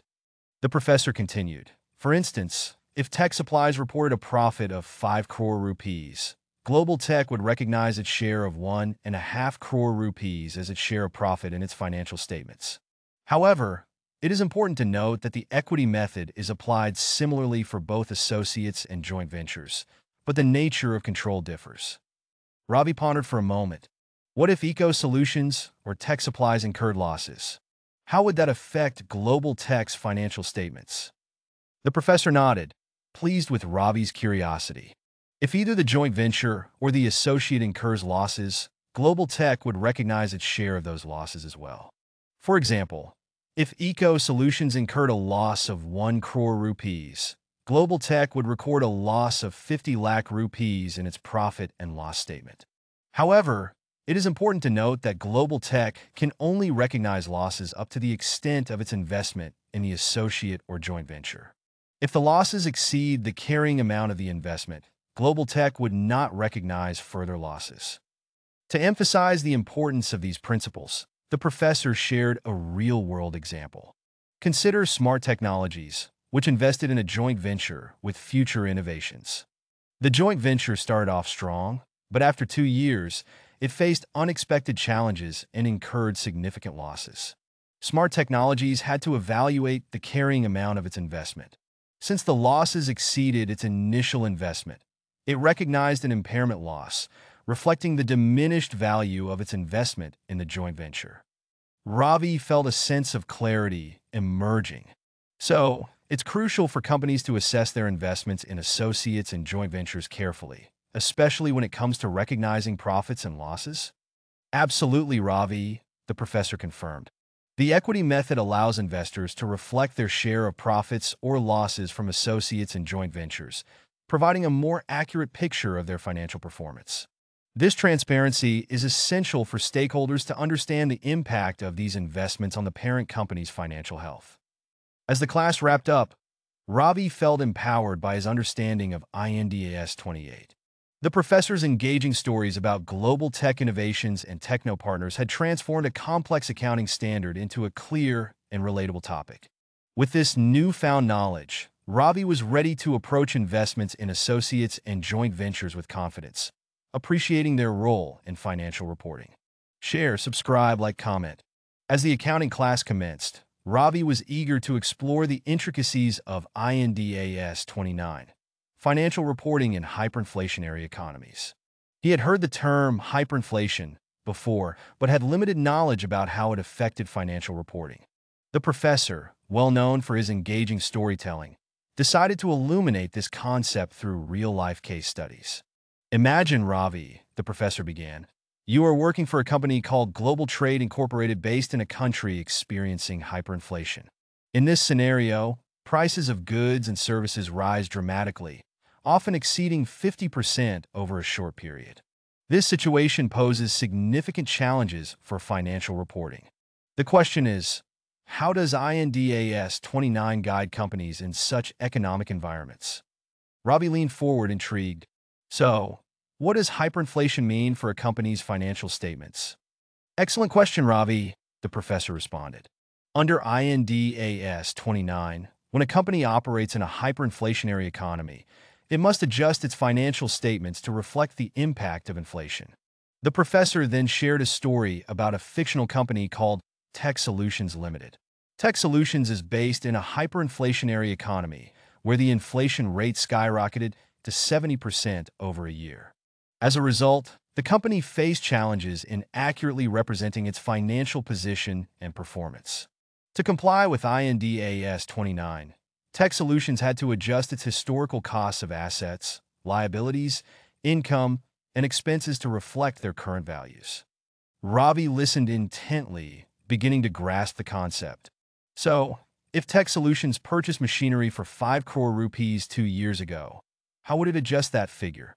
Right on point, the professor exclaimed. If the inflation rate during that period was high, Tech Solutions would restate the cost of the machinery using a price index. For example, if the price index had increased by 30% since the purchase, the restated value of the machinery in the current financial statements would be approximately six and a half crore rupees. To deepen Ravi's understanding, the professor provided another example. Consider Green Energy Corporation, which operates in a hyperinflationary economy. Last year, it reported revenue of 15 crore rupees. Due to hyperinflation, this revenue does not hold the same value as when it was earned. Therefore, Green Energy Corporation would need to restate its revenue to reflect the current purchasing power. If the inflation rate is recorded at 50% for the year, the adjusted revenue would be approximately 22.5 crore rupees in the current financial statements.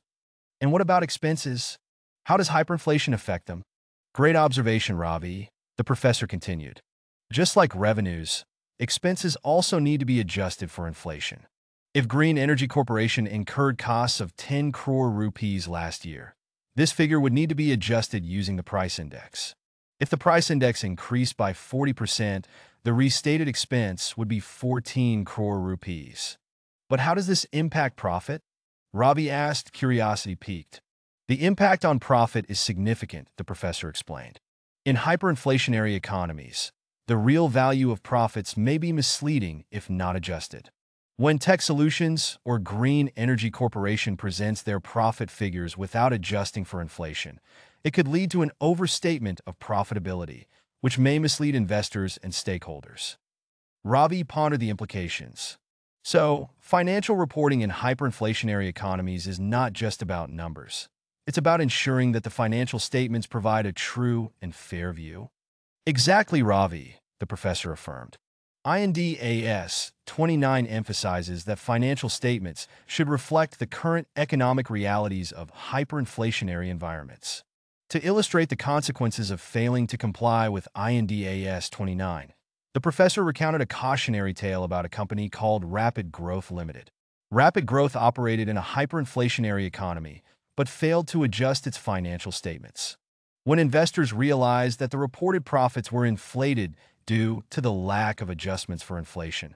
The company faced severe reputational damage. Its stock price plummeted, and regulatory authorities intervened, leading to significant fines. So, in hyperinflationary economies, accurate financial reporting is crucial for maintaining trust with investors and stakeholders? Absolutely, the professor confirmed. As the class concluded, Ravi felt enlightened about INDAS 29. The professor's captivating stories about tech solutions and Green Energy Corporation had made the complex topic of financial reporting in hyperinflationary economies accessible and relevant. With this newfound knowledge, Ravi was prepared to approach financial reporting in such challenging environments with confidence and clarity, understanding the critical role of accurate reporting in preserving stakeholder trust. Share, subscribe, like, comment. As the accounting class began, Ravi felt a mix of anticipation and curiosity about IND AS32, Financial Instruments, presentation. He had often heard about financial instruments but was unsure how they were presented in financial statements. The professor, known for his captivating storytelling, decided to clarify this important concept through relatable real-life case studies. Imagine, Ravi, the professor started, you are working for a company called Global Innovations Limited that has various financial instruments in its portfolio, including equity shares, bonds, and derivatives. The question is, how does IND AS 32 guide the presentation of these financial instruments in the financial statements? Ravi leaned forward, eager to learn. So, how does the standard define a financial instrument? Excellent question, Ravi, the professor replied. Under IND AS 32, a financial instrument is any contract that gives rise to a financial asset for one entity and a financial liability or equity instrument for another entity.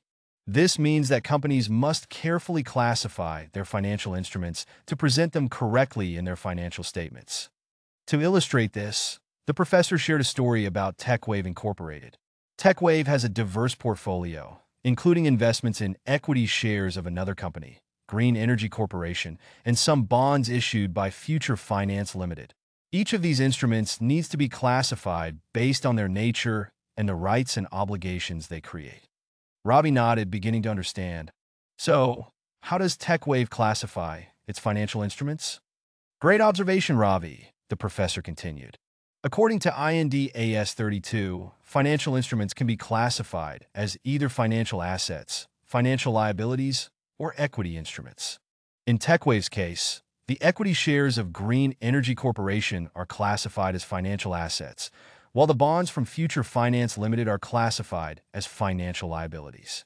This classification is crucial for understanding the financial position and performance of the company. Ravi was intrigued. What about the presentation of these instruments in the financial statements? Another excellent question, the professor responded. Under IND AS 32, financial instruments must be presented in a manner that clearly distinguishes between liabilities and equity. For example, if TechWave issued convertible bonds, bonds that can be converted into equity shares, this financial instrument would need to be split between a financial liability and an equity component. The liability portion reflects the obligation to pay interest and repay the principal, while the equity portion represents the potential conversion into shares. To provide a practical example, the professor introduced a scenario involving ABC Holdings. ABC Holdings issued convertible bonds worth 10 crore rupees with an interest rate of 8%. According to IND AS 32, ABC Holdings must present these convertible bonds by splitting them into two components the financial liability for the interest payments and the equity component for the conversion option. This ensures that the financial statements provide a clear picture of both the obligations and the potential ownership dilution. Ravi pondered the implications of this classification.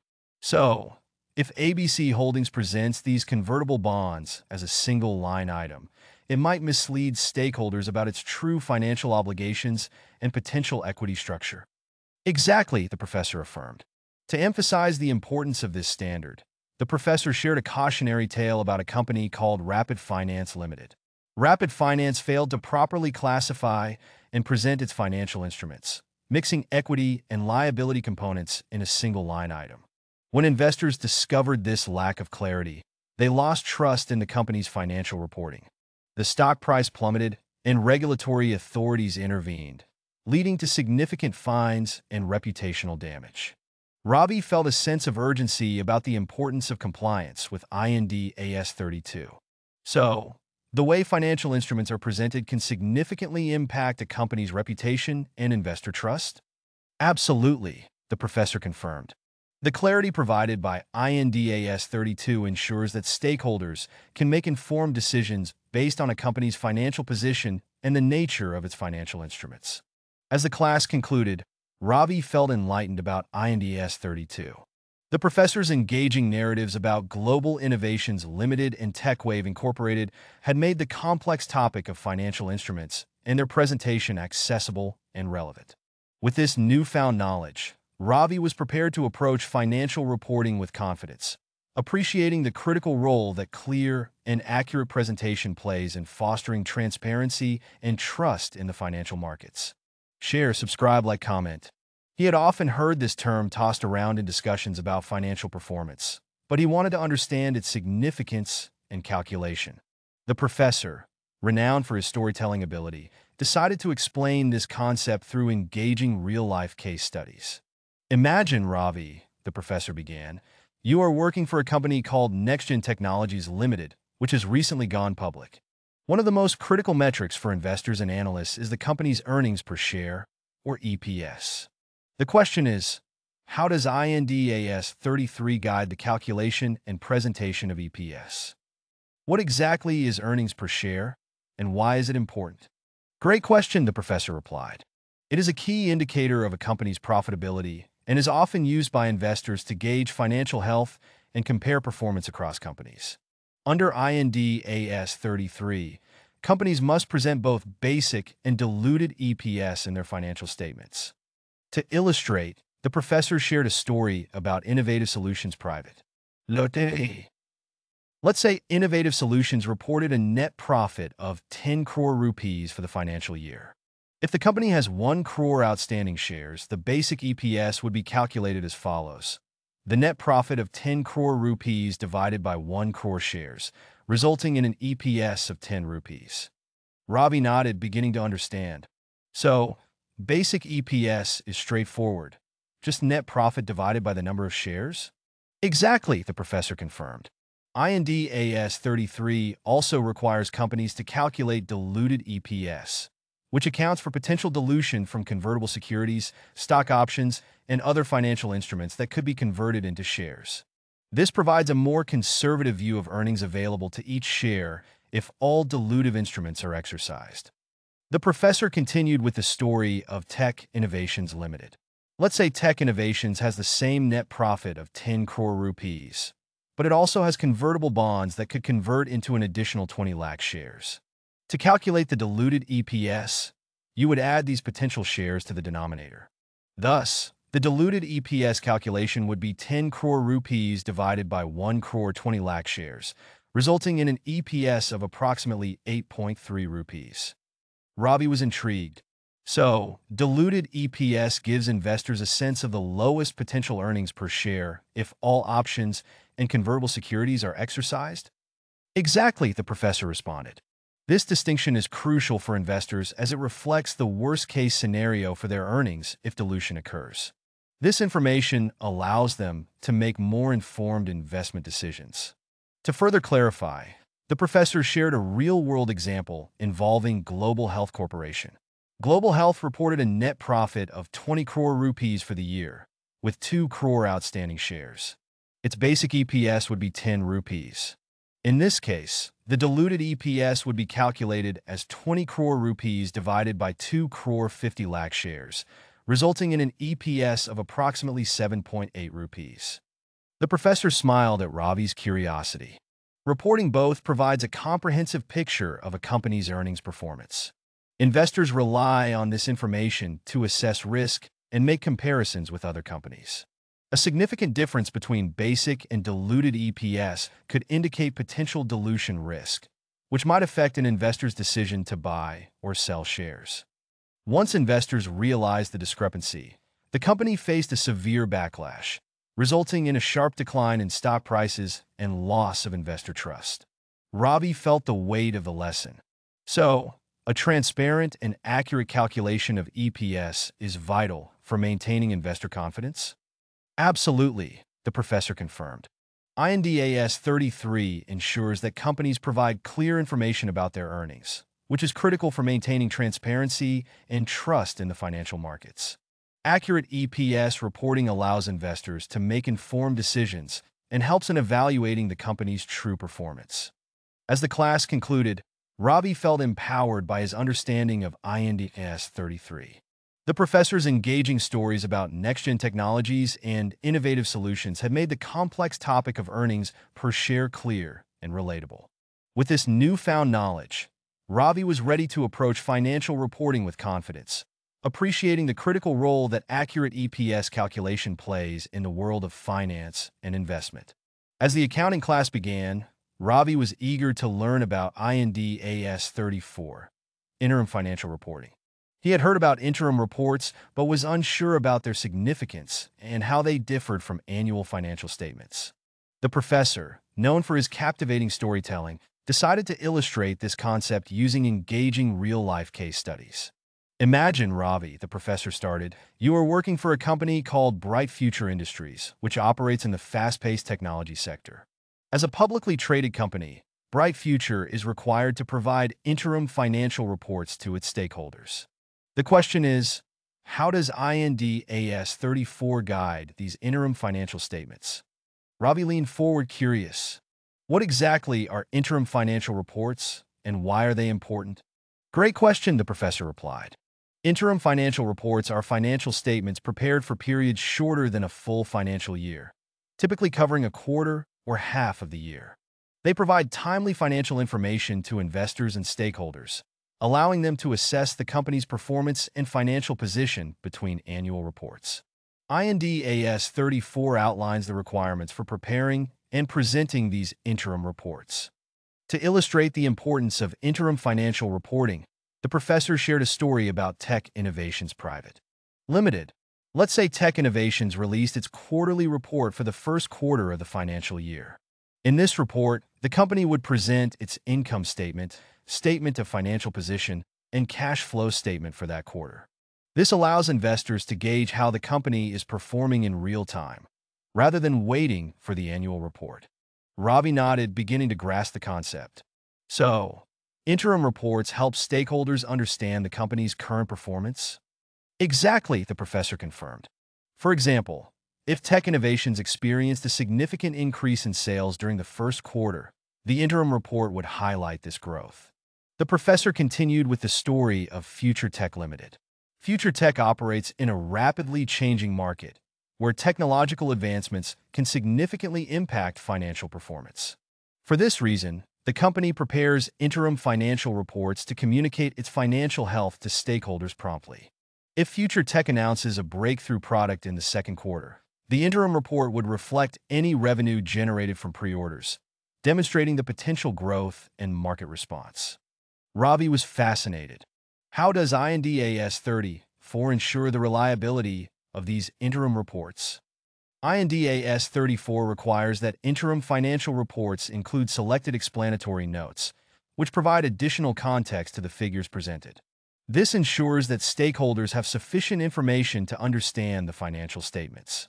For instance, if tech innovations faced an unexpected rise in operating expenses due to supply chain disruptions, the interim report would explain this situation, helping investors understand the impact on profitability.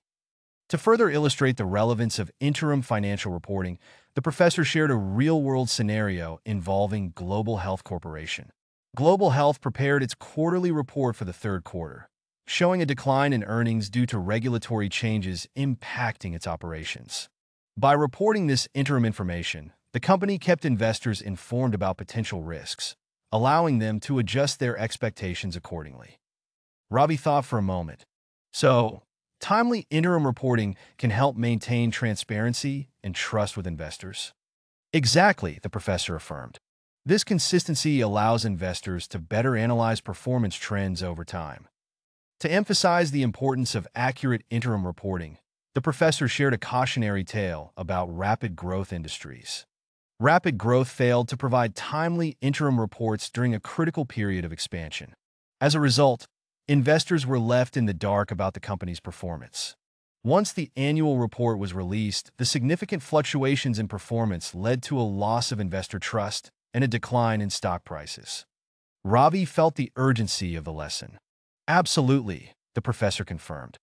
IND AS 34 ensures that stakeholders receive relevant information about a company's performance in a timely manner, allowing for informed decision-making and fostering a transparent financial environment.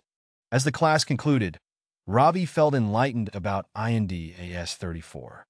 The professor's engaging stories about bright future industries and tech innovations had made the complex topic of interim financial reporting accessible and relevant. With this newfound knowledge, Ravi was prepared to approach financial reporting with confidence, understanding the critical role that timely and accurate interim reports play in sustaining investor trust and enhancing transparency in the financial markets. Share, subscribe, like, comment. As the accounting class commenced, Ravi was excited to learn about IND AS 36, impairment of assets. He had heard the term impairment in various discussions, but was unsure about its practical implications and how companies assess and report it. The professor, renowned for his engaging storytelling, decided to clarify this important topic using relatable real-life case studies. Imagine, Ravi, the professor began. You are working for a company called Evergreen Manufacturing Limited, which produces eco-friendly products. Recently, the company has faced challenges due to a sudden decline in demand for one of its major products. The question we need to explore is, how does IND AS 36 guide the assessment and recognition of asset impairment in this scenario? Ravi leaned in, eager to grasp the concept. What exactly does impairment mean in this context? Great question, the professor replied. Impairment refers to a reduction in the recoverable amount of an asset below its carrying amount. When this happens, a company must recognize an impairment loss, which impacts its financial statements. Under IND AS 36, companies are required to assess assets for impairment whenever there are indications that the carrying amount may not be recoverable. To illustrate, the professor shared a story about Tech Solutions Private Limited. Let's say Tech Solutions invested heavily in developing a new software product. After launching it, they noticed a sharp decline in user interest, leading to decreased sales. This assessment is crucial to determine whether an impairment loss needs to be recognized. Ravi nodded, starting to understand. So, the company needs to evaluate if the asset can generate future cash flows? Under IND AS 36, the recoverable amount is defined as the higher of an asset's fair value less cost to sell and its value in use. To determine this, Tech Solutions would estimate future cash flows generated by the software, discount them to present value, and compare them to the carrying amount. If the carrying amount exceeds the recoverable amount, an impairment loss must be recognized. The professor continued with the story of global industries. Global Industries owned a factory that was producing a line of products. Due to technological advancements, the equipment became outdated, leading to increased maintenance costs and decreased production efficiency. The management observed that the factory's cash flows were declining and decided to perform an impairment test on the factory's assets. Global Industries calculated the recoverable amount of the factory's assets, the professor explained. After thorough analysis, they found that the fair value less cost to sell was lower than the carrying amount. As a result, they recognized an impairment loss, which had a significant impact on their income statement and overall financial position. Ravi thought for a moment. Why is it important for companies to recognize impairment losses promptly? Excellent observation, Ravi, the professor replied. Timely recognition of impairment losses ensures that financial statements reflect the true value of a company's assets. Failing to do so can mislead stakeholders about the company's financial health. For example, if global industries did not recognize the impairment, it would present an inflated asset value, impacting investment decisions and potentially leading to regulatory scrutiny. To emphasize the importance of compliance with IND AS 36, the professor shared a cautionary tale about Rapid Growth Limited. Rapid Growth owns several assets, including a real estate property. Due to a market downturn, the property's value plummeted, but the management chose to ignore the signs and did not conduct an impairment assessment. Ravi felt the weight of the lesson. So, understanding and applying IND AS 36 is crucial for maintaining transparency and trust with stakeholders? Absolutely, the professor confirmed. IND AS 36 ensures that companies provide accurate information about asset values, allowing stakeholders to make informed decisions. Recognizing impairment losses not only reflects the true financial position, but also helps in strategic decision-making for the future. The professor's engaging stories about Evergreen Manufacturing Limited and Tech Solutions had made the complex topic of impairment of assets accessible and relevant. With this newfound knowledge, Ravi was ready to approach financial reporting with confidence, appreciating the critical role that accurate impairment assessment plays in fostering transparency and maintaining trust in the financial markets. Share, subscribe, like, comment. As the accounting class began, Ravi was curious about IND AS 37, provisions, contingent liabilities, and contingent assets. While he had a basic understanding of these terms, he wanted to grasp their practical implications and how they affect a company's financial statements. The professor, known for his engaging storytelling, decided to clarify these concepts using real-life case studies that would resonate with Ravi. Imagine Ravi, the professor started, you are working for a company called Smart Tech Solutions, which specializes in innovative software development. Recently, the company has faced a potential lawsuit related to a software malfunction. This scenario raises the question, how does INDAS 37 guide the recognition and measurement of provisions, contingent liabilities, and contingent assets? Ravi leaned forward, intrigued. What exactly are provisions and contingent liabilities? Great question, the professor replied. A provision is a liability of uncertain timing or amount. Under IND AS 37, a provision should be recognized when there is a present obligation, legal or constructive. As a result of a past event, it is probable that an outflow of resources will be required to settle the obligation, and a reliable estimate can be made of the amount. In contrast, a contingent liability is a possible obligation that arises from past events and whose existence will be confirmed only by the occurrence or non-occurrence of one or more uncertain future events. To illustrate, the professor shared a story about Future Innovations Private. The company estimates the costs associated with the recall, including refunds, repairs, and customer communication. Since there is a present obligation arising from the product safety issue, the company would recognize a provision for these estimated costs in its financial statements. Ravi nodded, beginning to understand. So, the provision reflects the expected costs associated with the obligation? Exactly, the professor confirmed. In this case, future innovations would create a provision on its balance sheet, ensuring that its financial position accurately reflects the expected outflow of resources. This recognition is essential for maintaining transparency with stakeholders. While the management believes that the lawsuit has little chance of success, it still raises a question about whether to recognize a provision for the legal costs. According to IND AS 37, since the outcome is uncertain, the company should assess the likelihood of the outflow of resources. If it is not probable, TechWorld would disclose the potential liability as a contingent liability in the notes to the financial statements instead of recognizing a provision. So, Contingent liabilities are disclosed but not recognized on the balance sheet unless they meet specific criteria? Exactly, the professor replied. Imagine a scenario where Innovative Manufacturing has filed a lawsuit against a supplier for breach of contract. However, Under INDAS 37, contingent assets are not recognized on the balance sheet until the realization of the income is virtually certain. Ravi thought for a moment. So, the treatment of contingent assets and liabilities ensures that financial statements are not misleading? Absolutely, the professor affirmed. The careful assessment and disclosure of provisions, contingent liabilities, and contingent assets provides stakeholders with a clear picture of potential financial risks and rewards. This transparency is crucial for informed decision-making.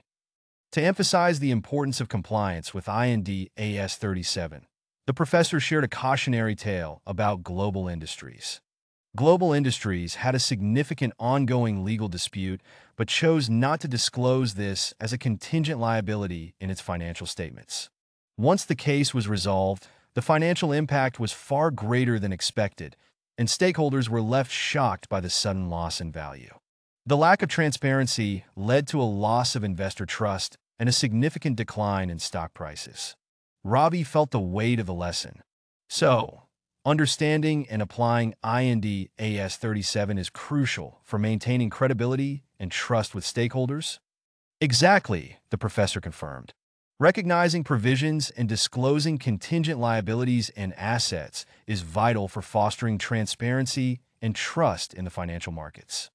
As the class concluded, Ravi felt enlightened about IND AS 37.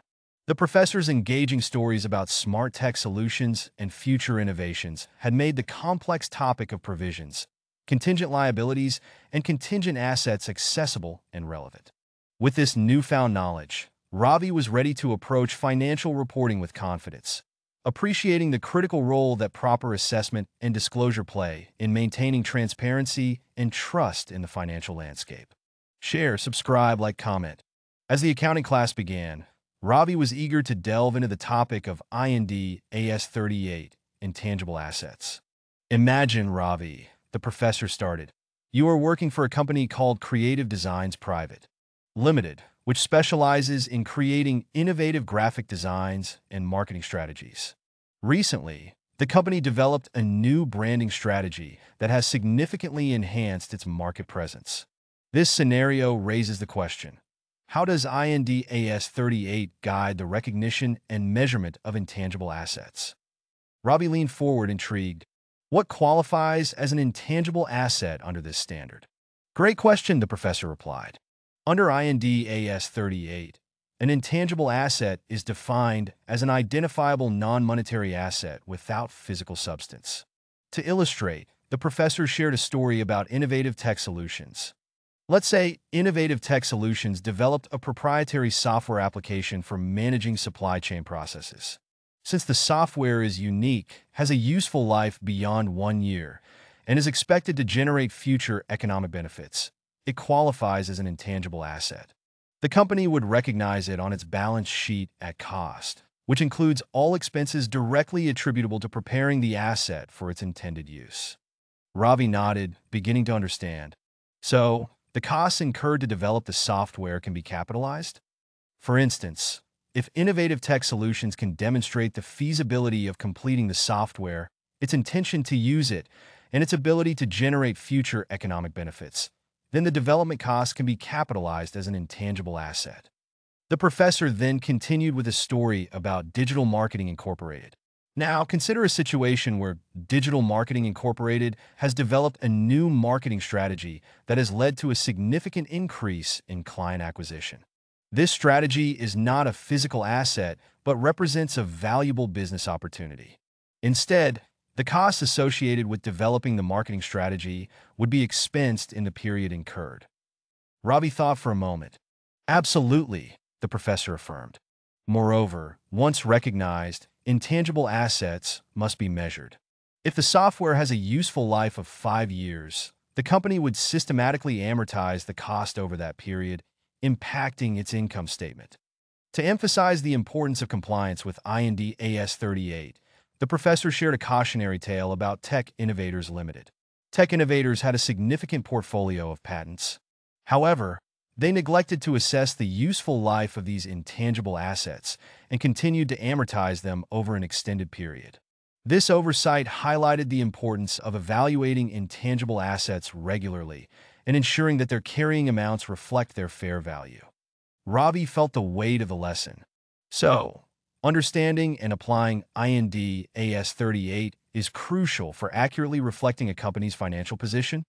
IND AS 38 ensures that companies provide accurate information about intangible assets, allowing stakeholders to understand their true value. Recognizing and measuring intangible assets correctly is vital for maintaining transparency and trust with investors. As the class concluded, Ravi felt enlightened about IND AS 38. The professor's engaging stories about creative designs private, limited, and innovative tech solutions had made the complex topic of intangible assets accessible and relevant. With this newfound knowledge, Ravi was ready to approach financial reporting with confidence appreciating the critical role that proper recognition and measurement of intangible assets play in the overall financial landscape. Share, subscribe, like, comment. As the accounting class started, Ravi was curious about INDAS 40, investment property. He understood that investment properties play a significant role in a company's financial health, but wanted to learn more about their recognition, measurement, and reporting through real-life examples. The professor, renowned for his storytelling skills, decided to clarify these concepts with relatable case studies. Imagine, Ravi, the professor began. You are working for a real estate company called Urban Properties Limited. Recently, Urban Properties purchased a building with the intention of leasing it out to tenants. Ravi leaned in, intrigued. Great question, the professor replied. It is important to distinguish between investment properties and owner-occupied properties, which are used by the entity for its own operations. To illustrate, the professor shared a story about Global Realty Incorporated. Let's say Global Realty acquired a commercial office space with the intention of leasing it to various businesses. Since this property is not used by Global Realty for its own operations, but is instead held to earn rental income, it qualifies as an investment property. Urban Properties would recognize the property on its balance sheet at cost, which includes the purchase price and any directly attributable expenditure. Ravi nodded, starting to connect the dots. So, the costs incurred to acquire the property can be capitalized? Exactly, the professor confirmed. However, once recognized, the company must choose between two models for subsequent measurement, the cost model or the fair value model. Under the cost model, the investment property is carried at cost less any accumulated depreciation and impairment losses. Conversely, under the fair value model, the investment property is revalued at its fair market value at each reporting date, with changes in value recognized in profit or loss. The professor then continued with a story about Heritage Developers. Imagine Heritage Developers owns a residential building that it leases out. The company decides to apply the fair value model for its investment properties. As the real estate market appreciates, Heritage Developers regularly updates the fair value of its property. Any increase in value is recognized in profit or loss, impacting the company's financial performance positively. Ravi thought for a moment. Absolutely, the professor affirmed. However, there are also implications for companies that choose the cost model. To further emphasize the application of IND AS 40, the professor shared a cautionary tale about Future Estates Private. Limited, Future Estates had a mixed-use property that generated both rental income and was partially occupied for its own operations. However, they incorrectly classified the entire property as investment property. When auditors flagged this issue, future estates faced significant restatements of their financial statements. Ravi felt the weight of the lesson. So, understanding and applying IND AS 40 is crucial for accurately reflecting a company's financial position and performance. Exactly, the professor confirmed. IND AS 40 ensures that companies provide transparent information about their investment properties, allowing stakeholders to understand their impact on financial performance. Correct classification, measurement, and reporting of investment properties are vital for maintaining transparency and trust with investors. As the class concluded, Ravi felt enlightened about INDAS 40. The professor's engaging stories about Urban Properties Limited and Global Realty Incorporated had made the complex topic of investment properties accessible and relevant. With this newfound knowledge, Ravi was ready to approach financial reporting with confidence, appreciating the critical role that proper recognition and measurement of investment properties play in the overall financial landscape.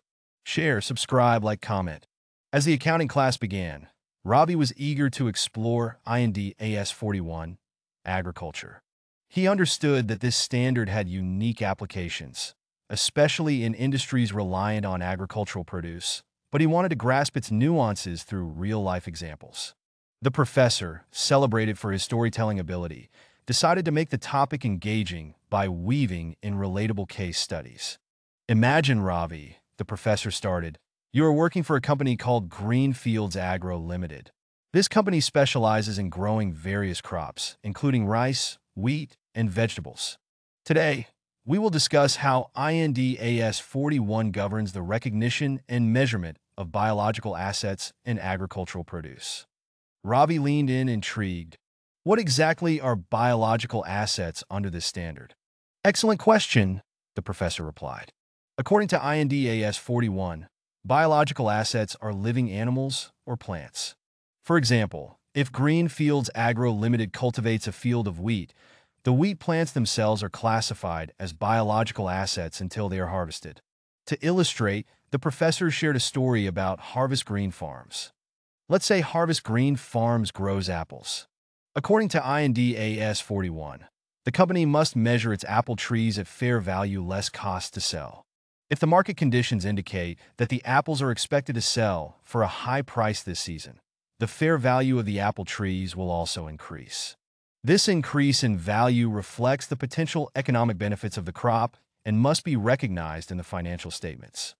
So, the biological assets are recorded at their fair value rather than historical cost? Exactly, the professor confirmed. This approach allows for a more accurate reflection of the asset's value in financial statements. However, it is important to note that when the apples are harvested, they are no longer considered biological assets. Instead, they are reclassified as inventory and measured at the lower of cost or net realizable value. The professor then continued with a story about Agro Innovations Limited. Now, consider a situation where Agro Innovations Limited raises cattle for dairy production. When the company assesses its livestock, it measures the animals at fair value. However, if one of the cows gives birth to a calf, that calf is also considered a biological asset and must be valued as well. Each calf will be recognized separately, and as they mature, their fair value will change, reflecting their growth and the potential milk they can produce. Ravi thought for a moment. So, tracking the fair value of biological assets can be quite dynamic due to growth and market conditions? Absolutely, the professor affirmed. However, IND AS 41 also requires disclosures about the methods and assumptions used in measuring fair value. For instance, Harvest Green Farms would need to disclose how it determines the fair value of its apple trees including any significant judgments made. When investors realized the discrepancies, the company faced scrutiny and a decline in investor confidence, resulting in a loss of market value. Ravi felt the weight of the lesson. So, understanding and applying IND AS 41 is crucial for accurately reflecting the value of biological assets and ensuring transparency with stakeholders. Proper recognition, measurement, and disclosure are vital for maintaining trust with investors and ensuring the sustainability of agricultural operations. As the class concluded, Ravi felt enlightened about IND AS 41. The professor's engaging stories about Greenfields Agro Limited and Harvest Green Farms had made the complex topic of agriculture accounting accessible and relevant. With this newfound knowledge, Ravi was ready to approach financial reporting in the agricultural sector with confidence appreciating the critical role that proper recognition and measurement of biological assets play in the overall financial landscape. Share, subscribe, like, comment. As the accounting class commenced, Ravi was curious about IND AS 101, first-time adoption of Indian accounting standards. He understood that transitioning to IND as from another accounting framework could be challenging, but he wanted to learn about its practical application through real-life examples. The professor, well known for his captivating storytelling, decided to illustrate the complexities of this standard using relatable case studies. Imagine, Ravi, the professor began. You are working for a company called Tech Innovations Private. Now, due to regulatory changes, Tech Innovations is preparing to transition to INDAS for the first time. This scenario raises the question, how does INDAS 101 guide the adoption process? Ravi leaned in, eager to learn. What are the main objectives of INDAS 101? Excellent question, the professor replied. INDAS 101 provides guidance for entities adopting INDAS for the first time. Its primary objectives are to ensure that an entity's first financial statements prepared under IND as contain high-quality information that is transparent, comparable, and understandable. The standard also aims to reduce the burden of transitioning by providing certain exemptions. To illustrate, the professor shared a story about Legacy Manufacturing Limited. Let's say Legacy Manufacturing was previously using the Indian GAAP and now decides to adopt INDAS. Under INDAS 101, the company must prepare an opening INDAS balance sheet at the date of transition. This balance sheet reflects the company's assets and liabilities as if it had always been applying INDAS, except for certain permitted exceptions. So, they must essentially restate their previous financial statements as if they had been using INDAS from the beginning? Exactly, the professor confirmed. For instance, legacy manufacturing may have previously recorded its property, plant, and equipment at historical cost. Under INDAS 101, they can choose to measure these assets at fair value on the date of transition and use that fair value as the deemed cost in their opening INDAS balance sheet. This approach can significantly affect their reported financial position. The professor then continued with a story about New Era Technologies. Consider New Era Technologies, which had a significant amount of intangible assets that were previously recognized under Indian GAAP. Upon transitioning to IND as, they have the option to either measure these intangible assets at their carrying amounts or at fair value on the date of transition. Ravi thought for a moment. So, there are strategic decisions to be made during the transition process? Absolutely, the professor affirmed. However, it is important to note that INDAS 101 also emphasizes the need for comprehensive disclosures in the first set of INDAS financial statements. New Era Technologies would need to disclose the impact of the transition on their financial position and performance, including how they applied the exemptions available under the standard. To highlight the importance of these disclosures, the professor shared a cautionary tale about old school electronics. Old school electronics transitioned to INDAS, but failed to adequately disclose the reasons for their accounting policy choices and the impact on their financial statements. As a result, investors were confused about the differences between their old and new financial statements. This lack of transparency led to skepticism regarding their financial health, impacting their stock price negatively. Ravi felt the weight of the lesson. So, understanding and applying INDAS 101 is crucial for a smooth transition and for maintaining stakeholder confidence? Exactly, the professor confirmed. Proper recognition, measurement, and disclosure are vital for fostering transparency and trust with investors. As the class concluded, Ravi felt enlightened about INDAS 101. The professor's engaging stories about Tech Innovations Private Limited and Legacy Manufacturing Limited had made the complex topic of first-time adoption accessible and relevant. With this newfound knowledge, Ravi was ready to approach the challenges of transitioning to IND as with confidence, appreciating the critical role that proper implementation and disclosure play in the overall financial landscape. He knew that this standard addressed the accounting for share-based payment arrangements, but he wanted to understand its practical implications through real-life examples. Imagine, Ravi, the professor started, you are working for a technology company called Innovate Tech Solutions. This company wants to attract and retain talented employees by offering them share-based payments, such as stock options. Understanding INDAS 102 is crucial for Innovate Tech to appropriately account for these arrangements. How does INDAS 102 define share-based payment? Great question, the professor replied.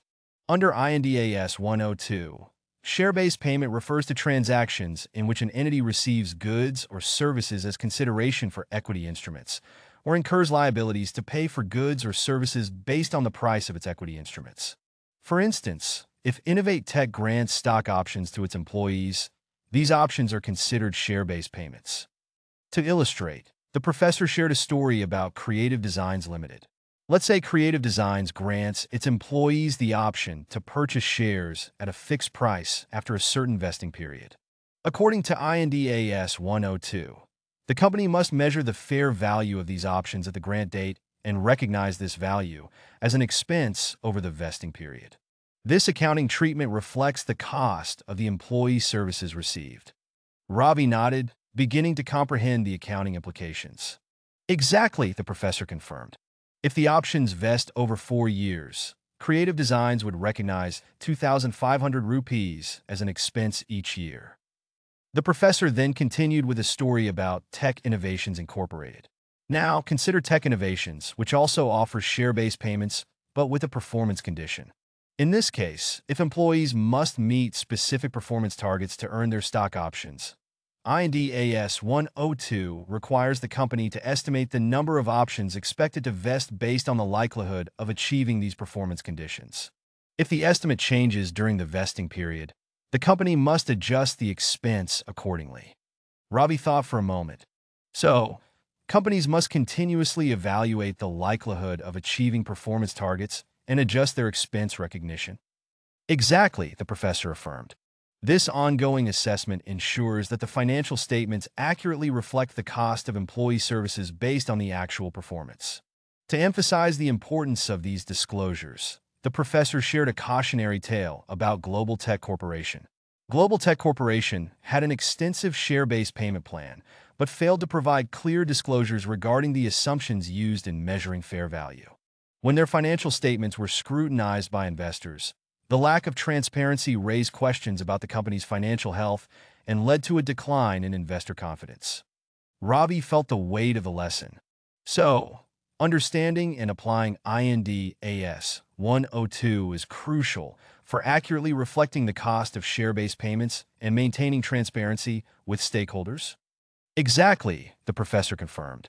IND AS 102 enables companies to provide meaningful information about the financial effects of share-based payments, fostering trust and confidence among investors. Proper recognition, measurement, and disclosure are vital for ensuring that stakeholders understand the costs associated with share-based payment arrangements. As the class concluded, Ravi felt enlightened about INDAS 102. With this newfound knowledge, Ravi was ready to approach accounting for share-based payments with confidence, appreciating the critical role that proper implementation and disclosure play in the overall financial landscape. Share, subscribe, like, comment. The professor, renowned for his captivating storytelling, was ready to illuminate this subject with engaging case studies. Imagine Ravi, the professor began. You are working for a company called Smart Solutions Private Limited. This company is considering acquiring another company, Innovate Tech Limited, to expand its product offerings and market reach. Understanding INDAS 103 is crucial for smart solutions to appropriately account for this business combination. Ravi leaned in, eager to learn. What does INDAS 103 say about business combinations? Excellent question, the professor replied. INDAS 103 provides guidance on accounting for business combinations. The core principle is that an acquirer must identify the acquiree, determine the acquisition date, and recognize the identifiable assets acquired, the liabilities assumed, and any non-controlling interest in the acquiree. To illustrate, the professor shared a story about Visionary Technologies. Let's say Visionary Technologies acquired Creative Innovations Incorporated for a substantial amount. On the acquisition date, Visionary must assess the fair value of the assets and liabilities of Creative Innovations. This includes tangible assets like property and equipment, as well as intangible assets like patents and customer relationships. Ravi nodded, starting to understand the process. So, they need to evaluate everything at fair value. If Visionary determined that the fair value of Creative Innovations assets was 50 million rupees and the liabilities were 20 million rupees, they would recognize a net identifiable asset of 30 million rupees. Additionally, if Visionary paid 70 million rupees for the acquisition, the excess of the purchase price over the fair value of the net identifiable assets would be recorded as goodwill. The professor continued with a case study involving Global Dynamics Limited. Imagine Global Dynamics acquired NextGen Solutions and identified significant synergies expected from the combination. According to IND AS 103, the acquirer must not recognize any future synergies as assets, but they can reflect these synergies in the valuation of goodwill. This is crucial, as goodwill represents the excess of the purchase price over the fair value of net identifiable assets. Ravi pondered for a moment. However, it is important to note that IND as 103 also requires the acquirer to reassess the classification and measurement of any contingent liabilities acquired in the business combination. If Global Dynamics had acquired contingent liabilities, they would need to evaluate the likelihood and timing of any potential outflows to determine how to account for them. Later, they discovered significant legal claims against the startup that were not accounted for in the acquisition. This oversight led to substantial financial losses and legal issues, impacting Evergreen's reputation and investor trust. Ravi felt the weight of this lesson. So, understanding and applying INDAS 103 is vital for accurately reflecting the financial implications of business combinations. INDAS 103 ensures that companies provide a clear picture of the financial effects of business combinations, allowing stakeholders to understand the rationale behind the acquisition and its expected benefits. Proper recognition, measurement, and disclosure are essential for maintaining transparency and trust with investors. As the class concluded, Ravi felt enlightened about IND AS 103. The professor's engaging stories about Smart Solutions Private. Limited and visionary technologies had made the complex topic of business combinations accessible and relevant. With this newfound knowledge, Ravi was ready to approach accounting for business combinations with confidence, appreciating the critical role that proper implementation and disclosure play in the financial landscape of businesses. Share, subscribe, like, comment. He understood that insurance accounting was complex and often challenging, but he was eager to grasp the concepts through practical examples. Understanding IND AS 104 is essential for accurately accounting for insurance contracts and ensuring compliance with regulatory standards. Ravi listened intently. What does IND AS 104 entail in terms of insurance contracts? Great question, the professor replied enthusiastically. IND AS 104 outlines the principles for recognizing, measuring, and disclosing insurance contracts. It applies to all types of insurance contracts, including life, health, and non-life insurance. The core principle is that insurers must assess their liabilities for insurance contracts based on the expected cash flows, which includes premiums received and claims expected to be paid. To illustrate this, the professor shared a story about Family Guard Insurance Company. Consider Family Guard, which offers life insurance policies. When a policyholder purchases a policy, Family Guard receives premiums, which it must recognize as income over the policy term. However, they also need to estimate future claims that they expect to pay out. This requires careful analysis of historical data, mortality rates, and economic conditions. So, they have to balance the premiums collected against the expected claims to determine their financial position? Exactly, the professor confirmed.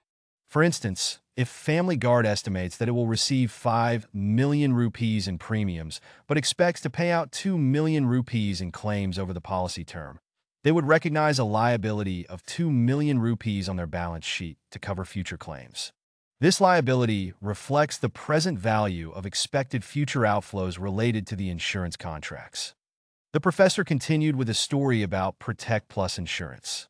Now, let's say Protect Plus offers health insurance plans with various coverages.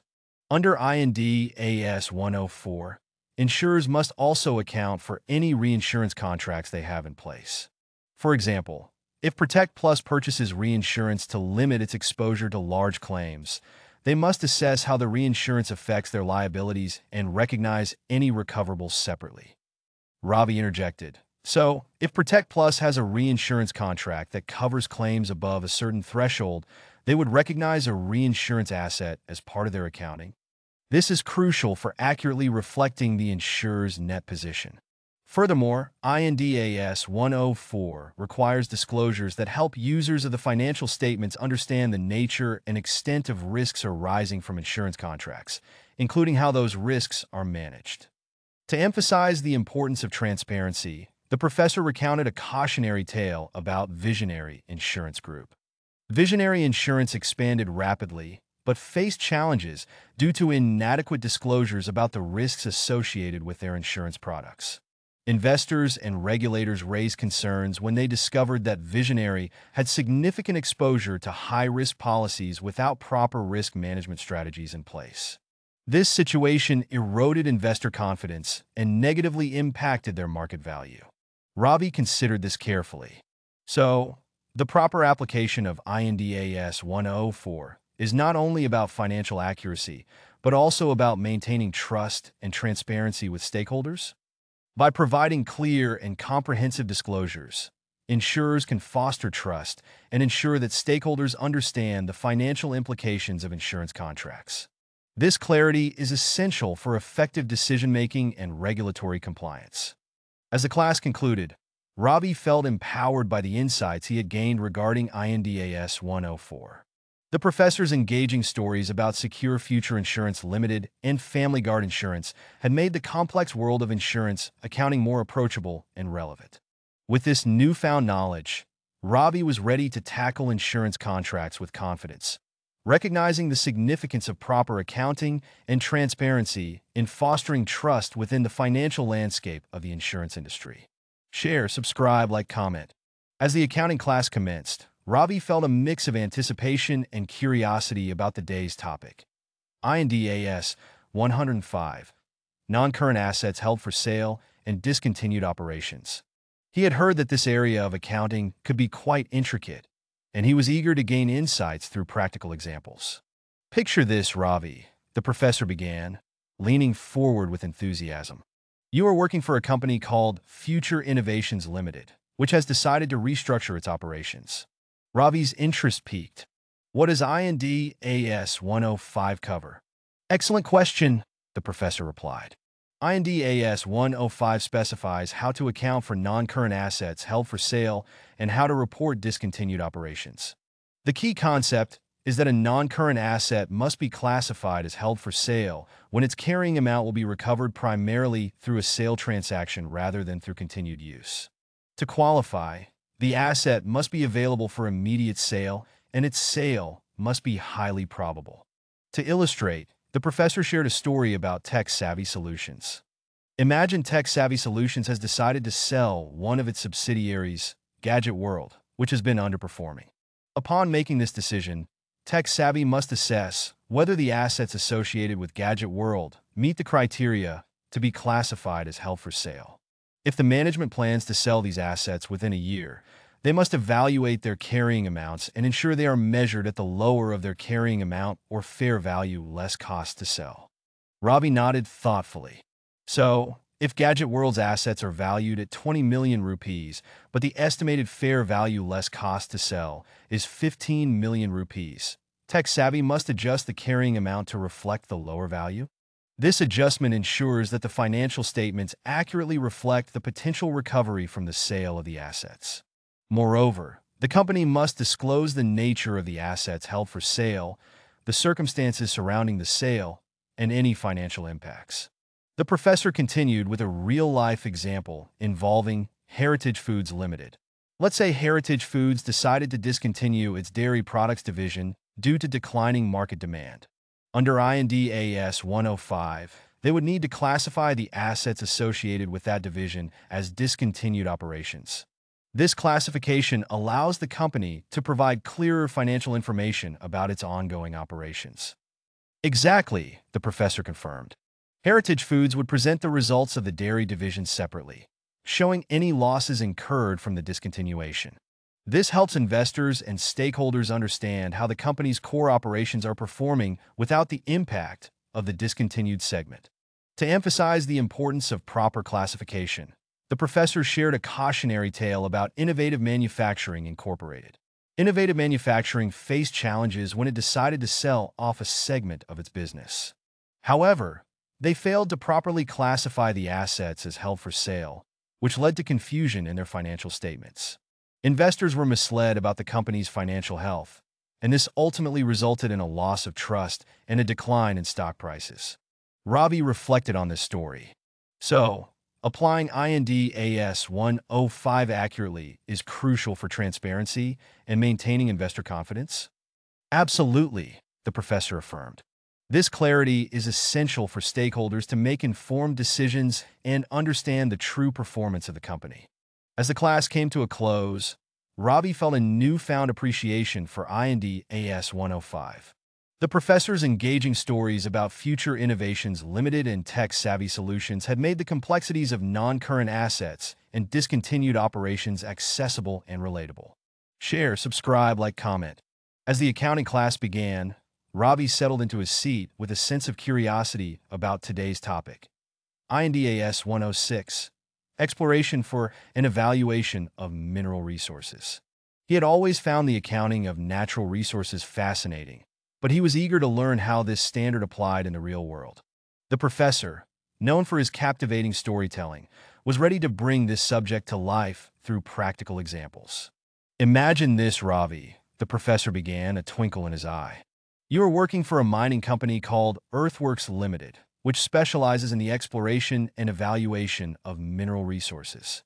Understanding IND AS 106 is essential for accurately accounting for the costs associated with exploration and evaluation activities. Ravi listened intently, eager to grasp the intricacies of this standard. What does IND AS 106 entail? The standard applies to activities involving the search for mineral resources, such as oil, gas, and minerals, until a project is determined to be commercially viable. To illustrate this, the professor shared a story about GeoResources Limited. Consider GeoResources, which has invested in a large tract of land to explore for oil.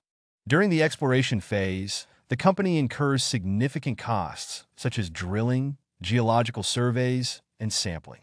Under IND AS 106, these costs are capitalized as exploration and evaluation assets until the technical feasibility and commercial viability of extracting the resource are established.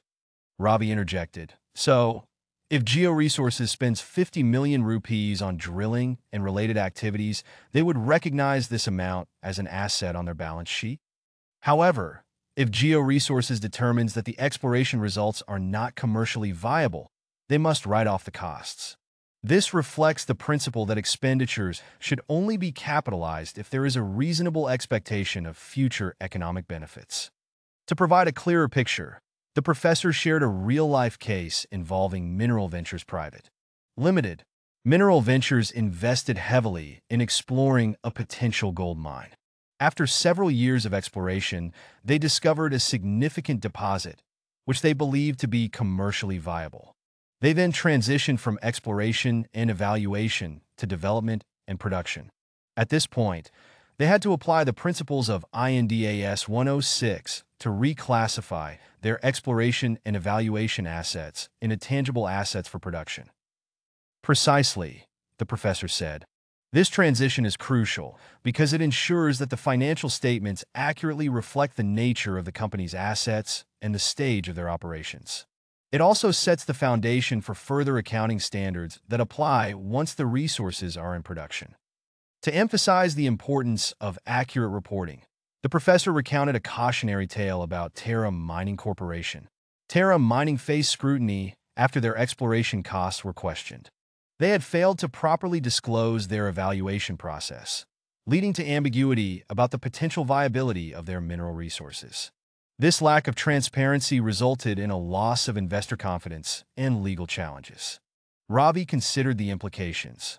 So, proper application of IND AS 106 is essential not just for compliance, but also for maintaining transparency and trust with stakeholders? Absolutely, the professor affirmed. By accurately capitalizing and disclosing exploration costs, companies provide a clearer picture of their financial health and the potential future value of their mineral resources. As the class drew to a close, Ravi felt empowered by the insights he had gained regarding IND AS 106.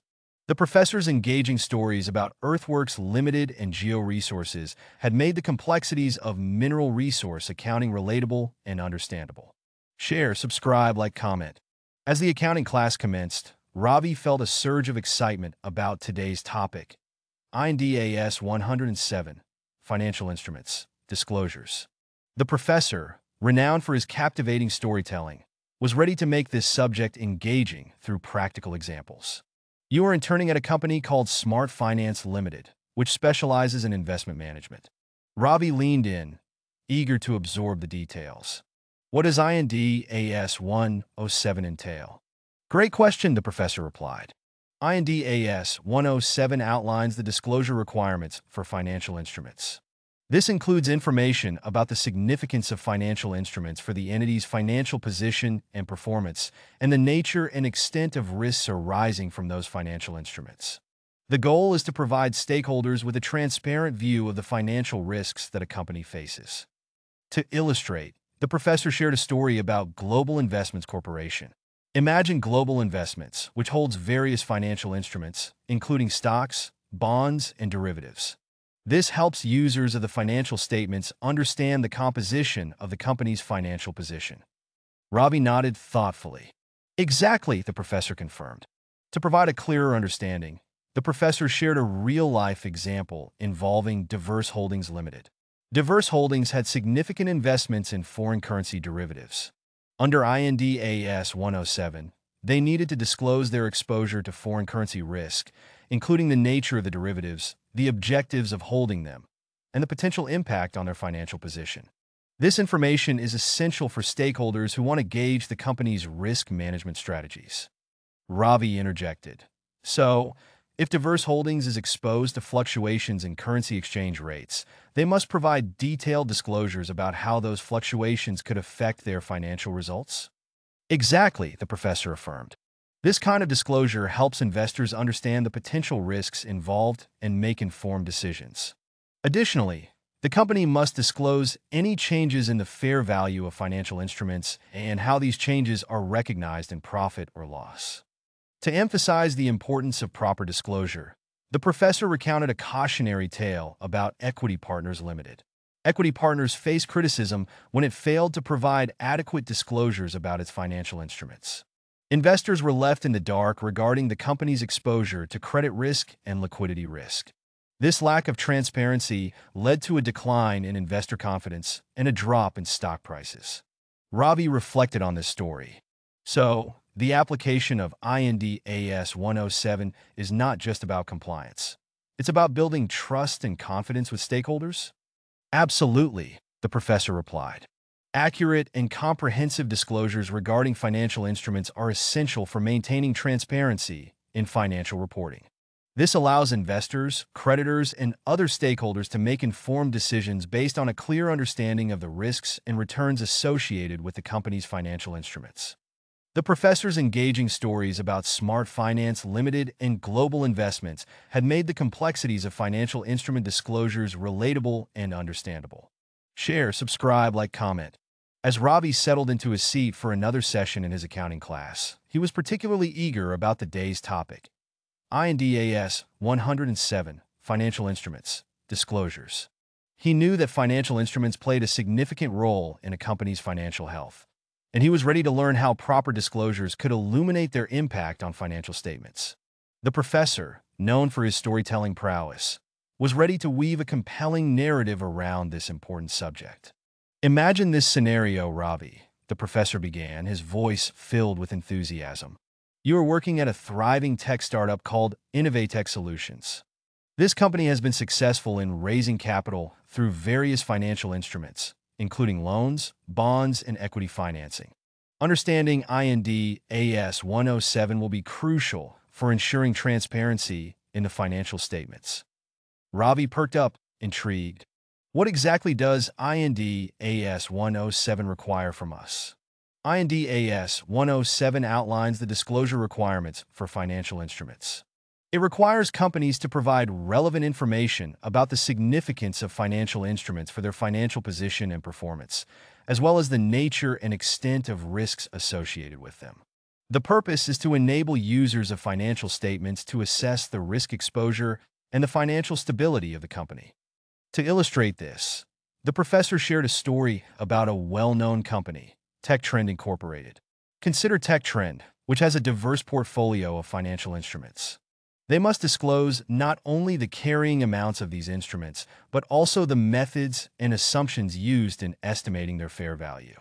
For instance, if TechTrend has investments in various stocks, they need to show how they arrive at the fair value of those stocks, especially if market prices are not readily available. Ravi nodded, visualizing the implications. Exactly, the professor confirmed. Furthermore, they must disclose any risks associated with these financial instruments. For example, if TechTrend is exposed to interest rate risk because of its floating rate loans, they should provide information on how this risk could impact their financial results. To drive the point home, the professor shared a real-life case study involving Global Corporation, Global Corporation had significant investments in foreign currencies and derivatives. Under IND AS 107, they needed to disclose their exposure to foreign exchange risk, including the nature of their currency derivatives and the potential impact on their profits. By providing this information, they enabled stakeholders to understand the financial risks associated with their operations. Ravi was intrigued. Precisely, the professor affirmed. Moreover, Companies must disclose any significant changes in the fair value of financial instruments during the reporting period and how those changes are recognized in the profit or loss statement. To highlight the consequences of inadequate disclosure, the professor recounted a cautionary tale about Equity Holdings Limited.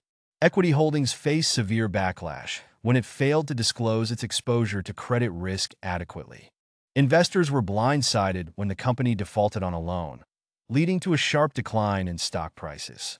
Ravi reflected on this example, understanding the weight of the lesson.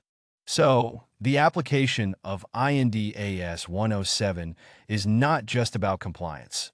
It's about ensuring transparency and fostering trust with investors and stakeholders. Accurate and thorough disclosures regarding financial instruments empower stakeholders to make informed decisions, enhancing the credibility of the financial statements and the company as a whole. With this newfound knowledge, Ravi was prepared to approach the intricacies of financial instrument disclosures with confidence, recognizing the vital role transparency plays in shaping the financial landscape and building lasting trust with stakeholders. As the sun streamed through the classroom windows, Ravi settled into his seat, eager for today's lesson on INDAS 108 operating segments. The professor, celebrated for his storytelling ability, was ready to make this seemingly complex topic come alive through real-life case studies. Let's start with a story, shall we, Ravi? The professor began, his eyes sparkling with enthusiasm. Imagine you are working at a multinational conglomerate called Global Enterprises.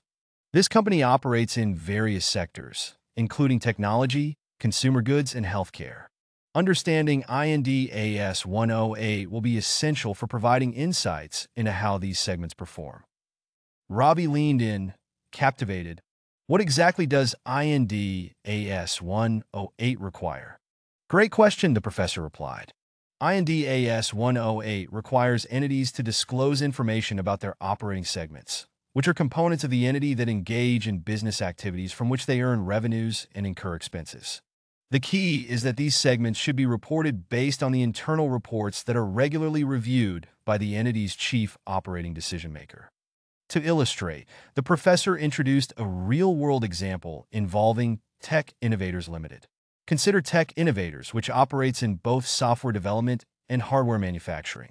Under INDAS 108, they must disclose financial information separately for each of these segments. By doing this, stakeholders can better understand which segment is performing well and which is not. Ravi nodded, processing the information. So, if Tech Innovators has generated 70 million rupees from software and 50 million from hardware, they need to present these figures separately. Exactly, the professor confirmed. This disclosure helps investors assess the performance of each segment, enabling them to make more informed decisions. For instance, if investors see that the software segment is consistently outperforming the hardware segment, they might decide to invest more based on that insight. To further clarify, The professor shared a cautionary tale about Diverse Industries Corporation. Diverse Industries had multiple operating segments, including textiles and agriculture. However, when they reported their financials, they lumped all revenues and expenses together without clear segmentation. This lack of clarity frustrated investors and analysts, as they couldn't identify which business units were thriving or struggling. Consequently, the company faced a drop in its stock price due to a loss of investor confidence. Ravi interjected. So, the application of INDAS 108 is not just a regulatory requirement. It's a way to build transparency and trust with stakeholders? Exactly, the professor replied, nodding approvingly. Moreover, INDAS 108 also requires companies to disclose the factors used to identify their operating segments, including how they measure segment profit or loss. This is important because it provides context for the financial results, allowing stakeholders to understand how decisions are made at the management level. The professor continued, Take the example of food and beverage group. They might have separate segments for beverages, snacks, and frozen foods. If management decides to allocate resources differently among these segments, they must disclose these changes and the reasons behind them. This level of transparency is vital for maintaining trust with investors and regulators alike. Ravi absorbed this information, realizing the profound implications of segment reporting. So, a company that effectively communicates its segment performance can enhance its market reputation and attract more investors? Absolutely the professor affirmed. By providing detailed disclosures about operating segments, companies can better inform their stakeholders about their business strategies, performance, and risk exposure. This, in turn, helps in fostering a more robust relationship with investors. As the lesson came to an end, Ravi felt a newfound appreciation for IND AS 108. The professor's engaging storytelling about global enterprises and tech innovators had transformed what could have been a dry topic into a captivating narrative. Armed with this knowledge, Ravi was ready to approach the complexities of operating segment disclosures with confidence, understanding their critical role in enhancing transparency and building trust within the financial community. Share, subscribe, like, comment. Today's topic was INDAS 109, Financial Instruments. The professor, known for his engaging storytelling style, was prepared to illuminate this complex subject through real-life examples that would resonate with the students. Let's embark on a journey today, shall we, Ravi? The professor began, his voice lively. Imagine you are working at a large financial institution called Fortune Bank. This bank deals with a wide array of financial instruments, from loans and deposits to complex derivatives. Understanding INDAS 109 is essential for ensuring that the bank accurately measures and reports its financial instruments. Ravi leaned forward, intrigued. What does INDAS 109 actually require us to do? Excellent question, the professor replied.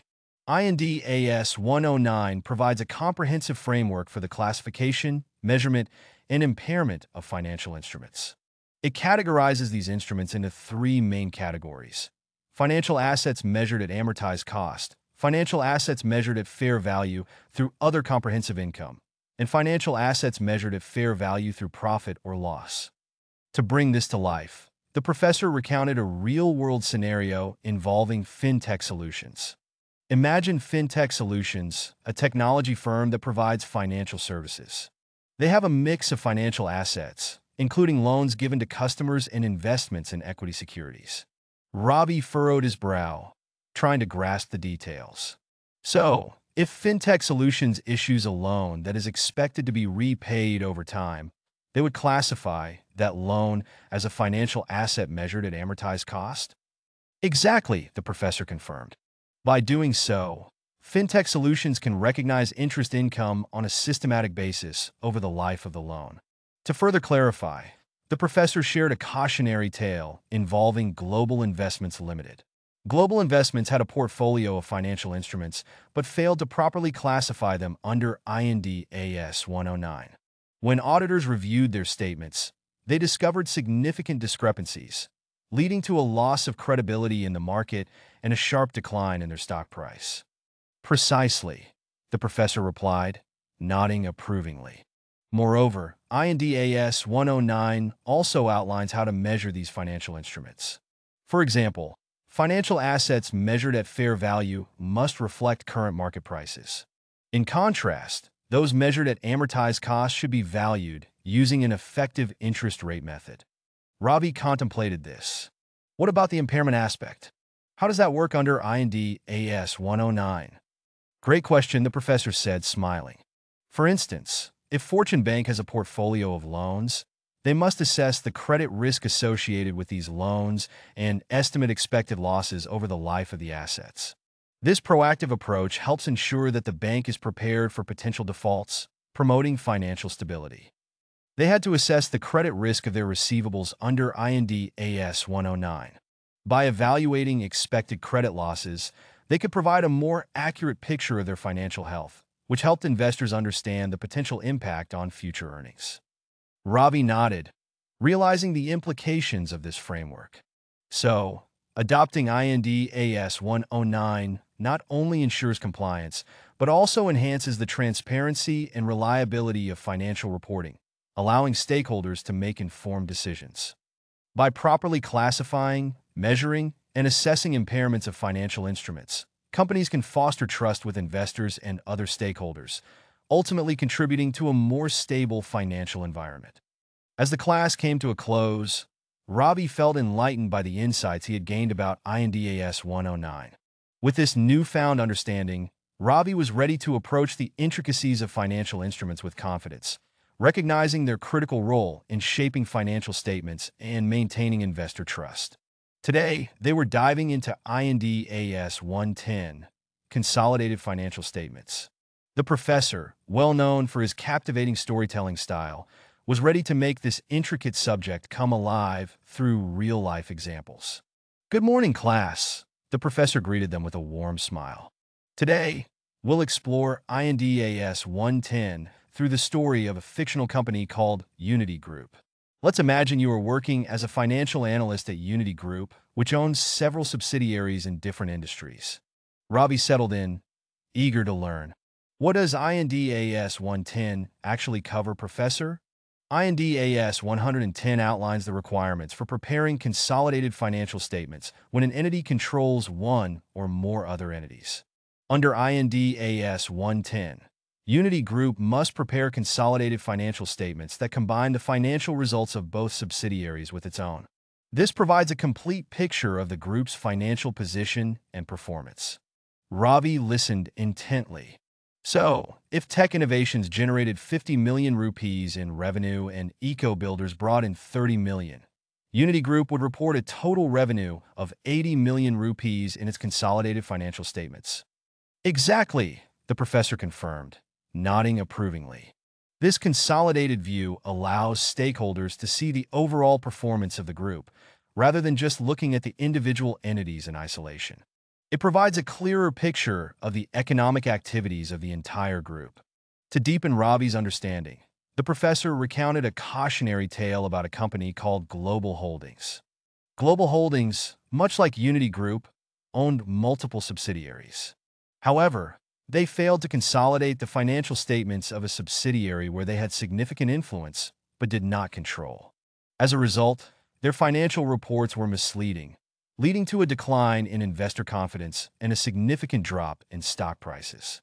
Ravi frowned. So, it's crucial to determine which entities need to be consolidated to avoid misrepresentation? Precisely, the professor affirmed. In addition to control, IND AS 110 specifies that all subsidiaries must be fully consolidated, including the financial results and position of each entity.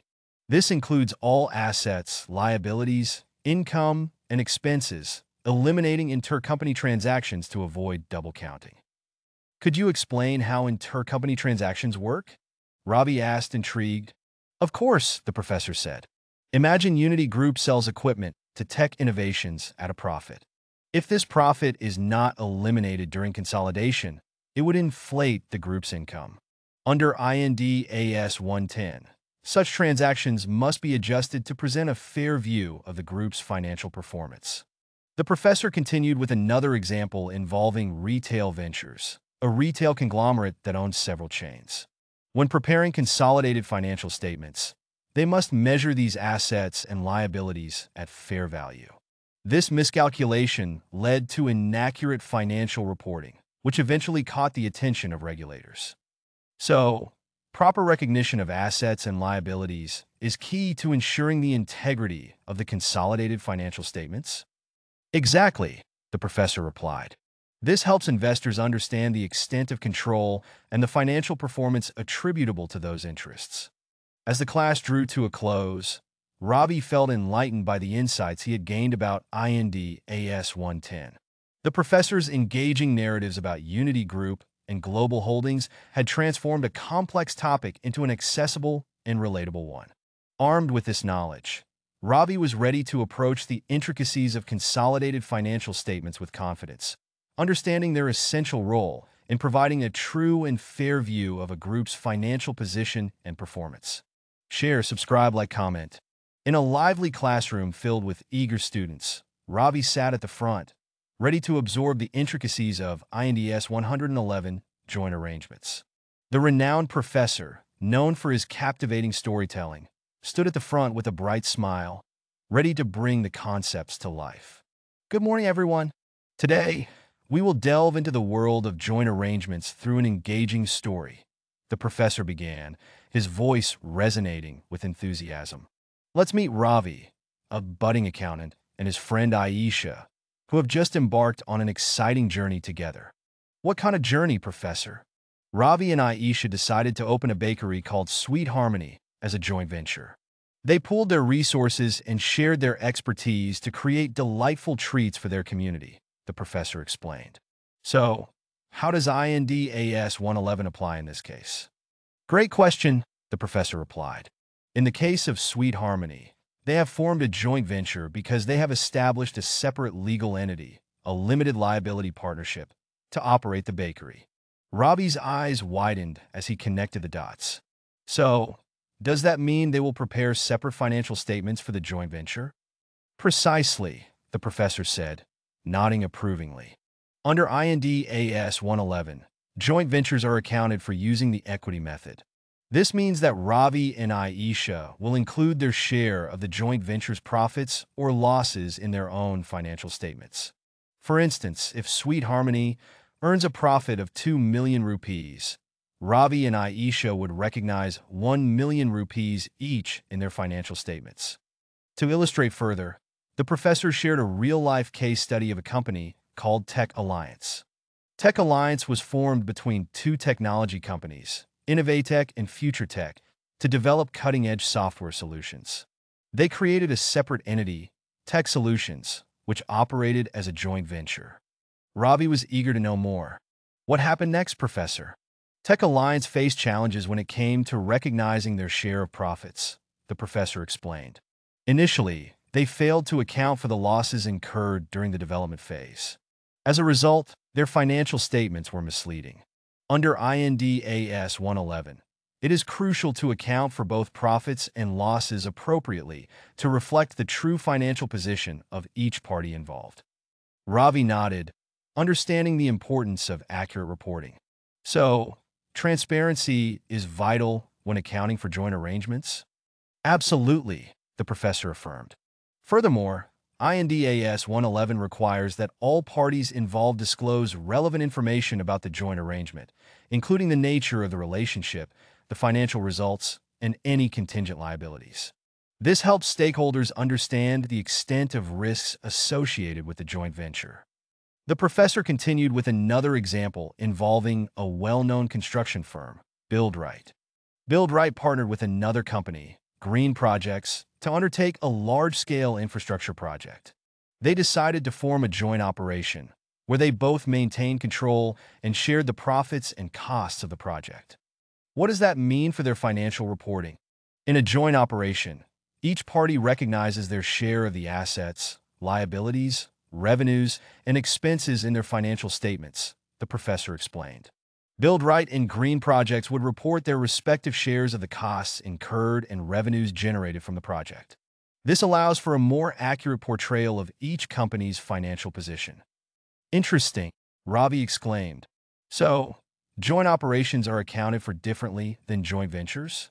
Exactly, the professor replied. In joint operations, the parties retain their rights to the underlying assets and obligations for the liabilities. This distinction is crucial for financial reporting.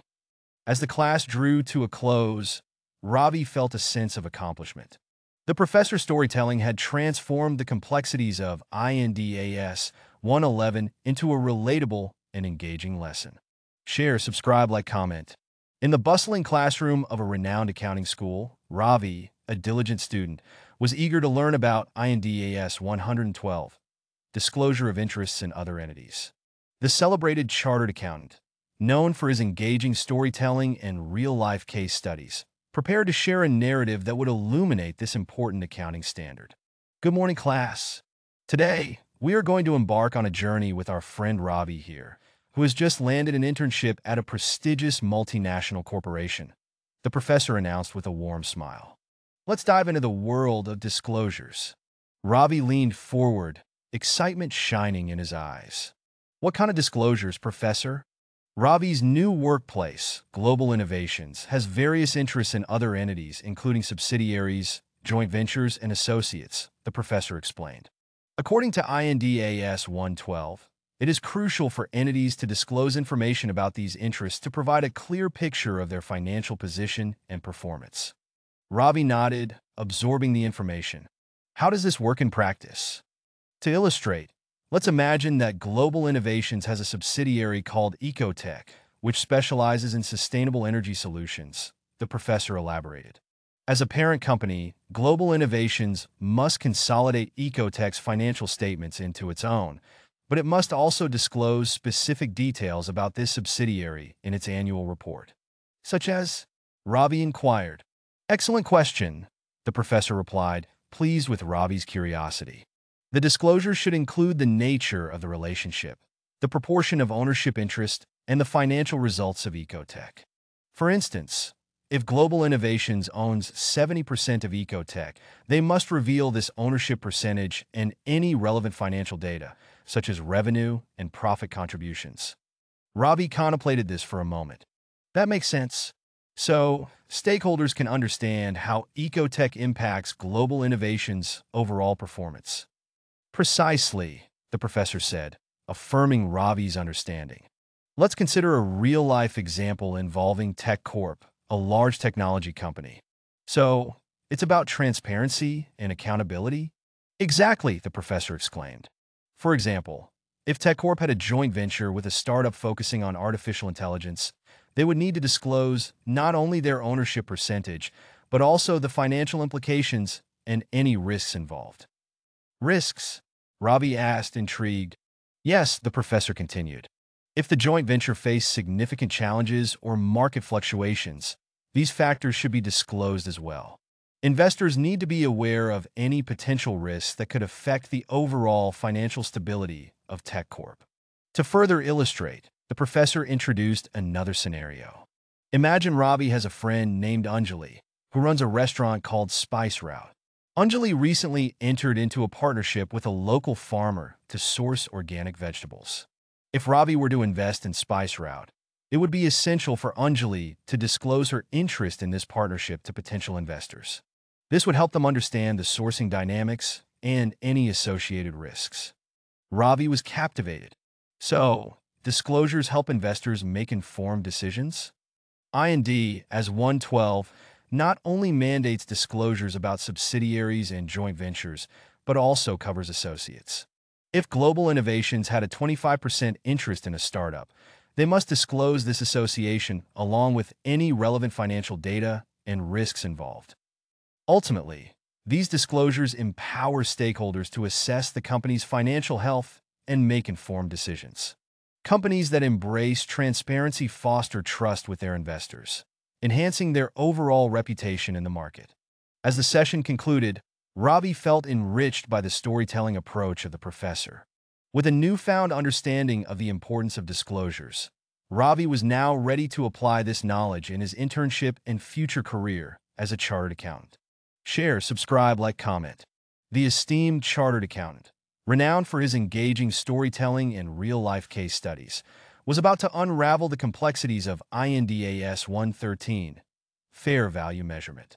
Good morning, everyone.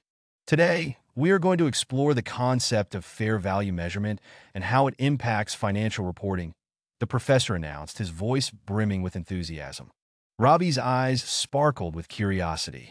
The professor continued, To help us understand this better, let's follow Ravi, who recently started working as an intern at a financial consultancy firm.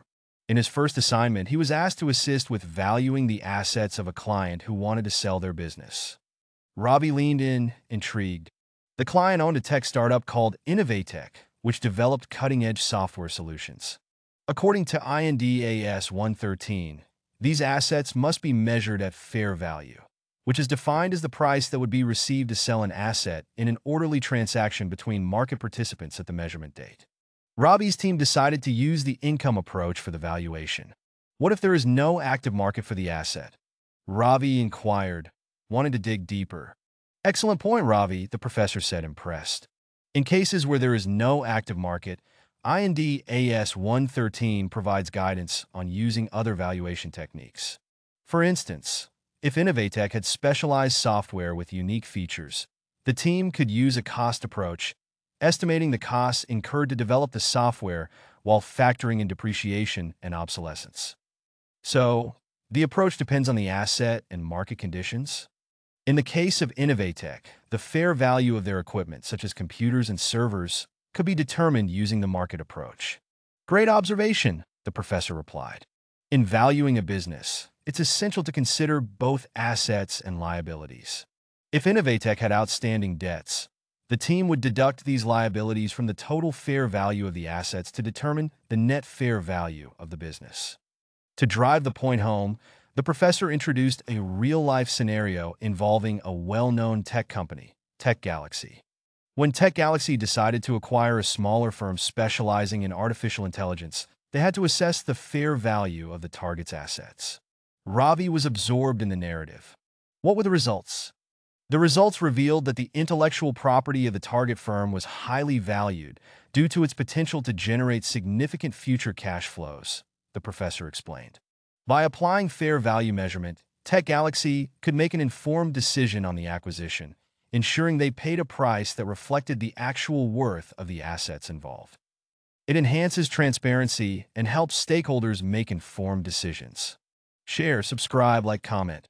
In a vibrant accounting classroom, Ravi sat among his peers, eager to learn. Good morning, everyone.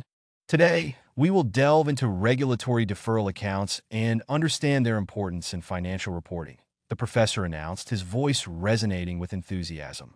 Ravi's curiosity piqued as he leaned forward, ready for the unfolding story. Ravi was instantly captivated. What's the significance of regulatory deferral accounts in this context, Professor? As part of its operations, PowerGen must comply with regulations that affect its pricing and revenue recognition, the professor explained. For instance, if the regulatory authority allows PowerGen to increase its electricity rates to recover costs incurred during an extraordinary event, such as a natural disaster, this creates a situation where the revenue is recognized in the financial statements but not immediately received in cash. Ravi's eyes widened as he connected the dots. So, how does PowerGen account for this? PowerGen uses regulatory deferral accounts to reflect this timing difference the professor continued. In this scenario, when PowerGen incurs additional costs and anticipates that these costs will be recoverable through future rate adjustments, it recognizes a regulatory deferral asset. This asset represents the expectation of recovering these costs from customers in the future, thus aligning with INDAS 114 requirements. Ravi pondered for a moment. Great inquiry, the professor responded. If PowerGen later finds out that the regulatory authority will not allow the cost recovery, the previously recognized regulatory deferral asset would need to be reversed, resulting in an impairment. This aligns with the principle that the accounts must reflect the current reality of the situation. To illustrate this concept further, the professor shared a real-life case involving a large utility company, EcoPower. EcoPower faced similar circumstances when an unexpected storm caused extensive damage to their infrastructure, leading to increased operational costs. They recorded these costs in their regulatory deferral accounts, expecting to recover them through a future rate increase approved by the regulatory authority. Ravi nodded, absorbing the details. And how did EcoPower manage the recovery process? The regulatory authority conducted a review of EcoPower's claim and ultimately allowed a gradual increase in rates over several years to cover the recovery, the professor explained. Ravi was intrigued. What about situations where costs are incurred but cannot be recovered? The professor smiled at Ravi's inquisitiveness. In such cases, if the regulatory authority does not permit recovery, the utility company must derecognize the deferral account, leading to a loss on their financial statements. This ensures transparency and accurate representation of financial health. As the class progressed, Ravi began to appreciate how INDAS 114 allowed entities like PowerGen to manage regulatory adjustments effectively, ensuring financial statements presented a true and fair view. Regulatory deferral accounts enable companies to bridge the gap between accrual accounting and cash flow impacts, the professor summarized. They are essential in industries with price regulation, ensuring that companies can recover costs while maintaining transparency with stakeholders. Armed with practical insights and real-life case studies, he was eager to apply this understanding in his internship, enhancing his journey as an aspiring chartered accountant. Share, subscribe, like, comment. In a bustling accounting classroom filled with eager students, Ravi sat at the front, attentive and ready to absorb new knowledge. The renowned chartered accountant, celebrated for his engaging storytelling, was set to explore the world of INDAS 115, revenue from contracts with customers. Ravi's curiosity surged as he anticipated an insightful story. To illustrate this standard, let's consider Ravi, our keen student, who has taken on an internship at a software development company called Tech Solutions. The professor began, capturing the class's attention. What's the significance of revenue recognition in this context, Professor? Excellent question. At Tech Solutions, the company enters into contracts with clients to develop software solutions. Under IND AS 115, revenue must be recognized when control of the promised goods or services is transferred to the customer, which involves a careful assessment of the contract terms, the professor explained. Ravi nodded, trying to grasp the concepts. Can you give us a practical example? Imagine Tech Solutions has a contract with a retail client, ShopEasy, to develop a customized point-of-sale software system. The contract outlines specific deliverables, including the software development, installation, and training, the professor elaborated. According to IND AS 115, Tech Solutions must identify the distinct performance obligations within this contract. What are performance obligations? Ravi asked, eager to learn more. Great question. Performance obligations are promises to transfer distinct goods or services to the customer, the professor clarified. In our example, Tech Solutions has three distinct performance obligations, developing the software, installing it at ShopEasy's locations, and providing training to their staff. Each of these obligations must be recognized separately for revenue. Ravi was intrigued. How does the company recognize revenue for each obligation? Let's break it down, the professor said. Upon signing the contract, Tech Solutions recognizes revenue for the software development when it transfers control of the software to ShopEasy. This occurs once the development is complete and the software is installed. But what if there are changes or delays in the contract? Ravi inquired. Excellent point. If the contract is modified, Tech Solutions must assess whether the changes create new performance obligations or adjust existing ones, the professor responded. For instance, if Shop Easy requests additional features that are not part of the original agreement, Tech Solutions must recognize the additional revenue related to those features once they are delivered. To further illustrate, the professor shared a real-life case involving a multinational tech company, SoftTech. SoftTech entered into a contract with a large organization to provide a comprehensive cloud-based solution. Throughout the project, SoftTech encountered several client requests for additional features. They had to carefully evaluate each request against INDAS 115 requirements to determine if these changes resulted in new performance obligations. Ravi listened intently, understanding the importance of accurately recognizing revenue. They recognized the revenue for these new features only after the features were delivered and accepted by the client, the professor explained. Ravi was keen to learn about potential challenges in revenue recognition. What if there are uncertainties regarding payment from the customer? Another insightful question, the professor acknowledged. Under IND AS 115, companies must also consider the collectability of the payment. The standard guided companies to recognize revenue based on the transfer of control, enhancing the reliability of financial statements. By understanding the nuances of revenue recognition, Ravi can ensure that Tech Solutions maintains compliance and provides accurate financial information to stakeholders, the professor concluded. He left the classroom excited to apply these principles in his internship, ready to tackle real-world challenges in revenue recognition and contribute meaningfully to his company's success. Share, subscribe, like, comment. In a vibrant accounting classroom filled with eager students, Ravi sat up front, ready to absorb the day's lesson. The renowned chartered accountant, famous for his engaging storytelling, was prepared to guide the students through the intricacies of IND AS 116, the standard on leases, which replaced IND AS 17. Good morning, class. Today, we will delve into IND AS 116 and understand its practical implications the professor announced with enthusiasm. To illustrate this standard, let's consider our friend Ravi, who has secured an internship at a logistics company named Logan Logimove. The professor began capturing the student's attention. Logan Logimove specializes in providing transportation solutions and operates a fleet of delivery vehicles. How does leasing fit into this, Professor? Excellent question. At Logan Logimove, the company frequently leases vehicles instead of purchasing them outright. Under INDAS 116, which provides a more comprehensive approach to lease accounting, Ravi needs to understand how to recognize and measure leases in the financial statements, the professor explained. Can you give us a practical example, professor? Ravi asked, genuinely intrigued. Certainly. Let's say Logimove enters into a lease agreement for 10 delivery trucks. Under IND AS 116, Ravi must recognize a right-of-use asset and a lease liability on the company's balance sheet at the commencement of the lease, the professor clarified. Ravi furrowed his brow. Good question. The right-of-use asset represents Logimove's right to use the lease trucks during the lease term. Simultaneously, the lease liability reflects the obligation to make lease payments over time, the professor elaborated. Wow, that sounds important. Let's break it down.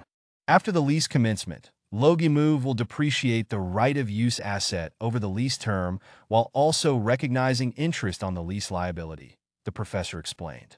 So, each month, Ravi will adjust the asset and liability on the books based on these calculations. Ravi's interest intensified. What happens if the lease term changes or if Logimove decides to terminate the lease early? Great follow-up.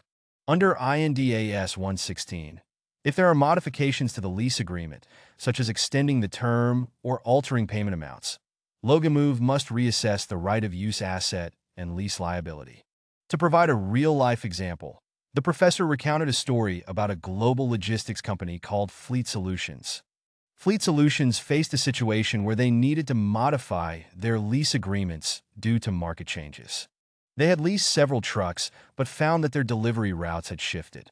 As a result, they negotiated with their lessor for lower payments and an extension of the lease term to accommodate their new needs.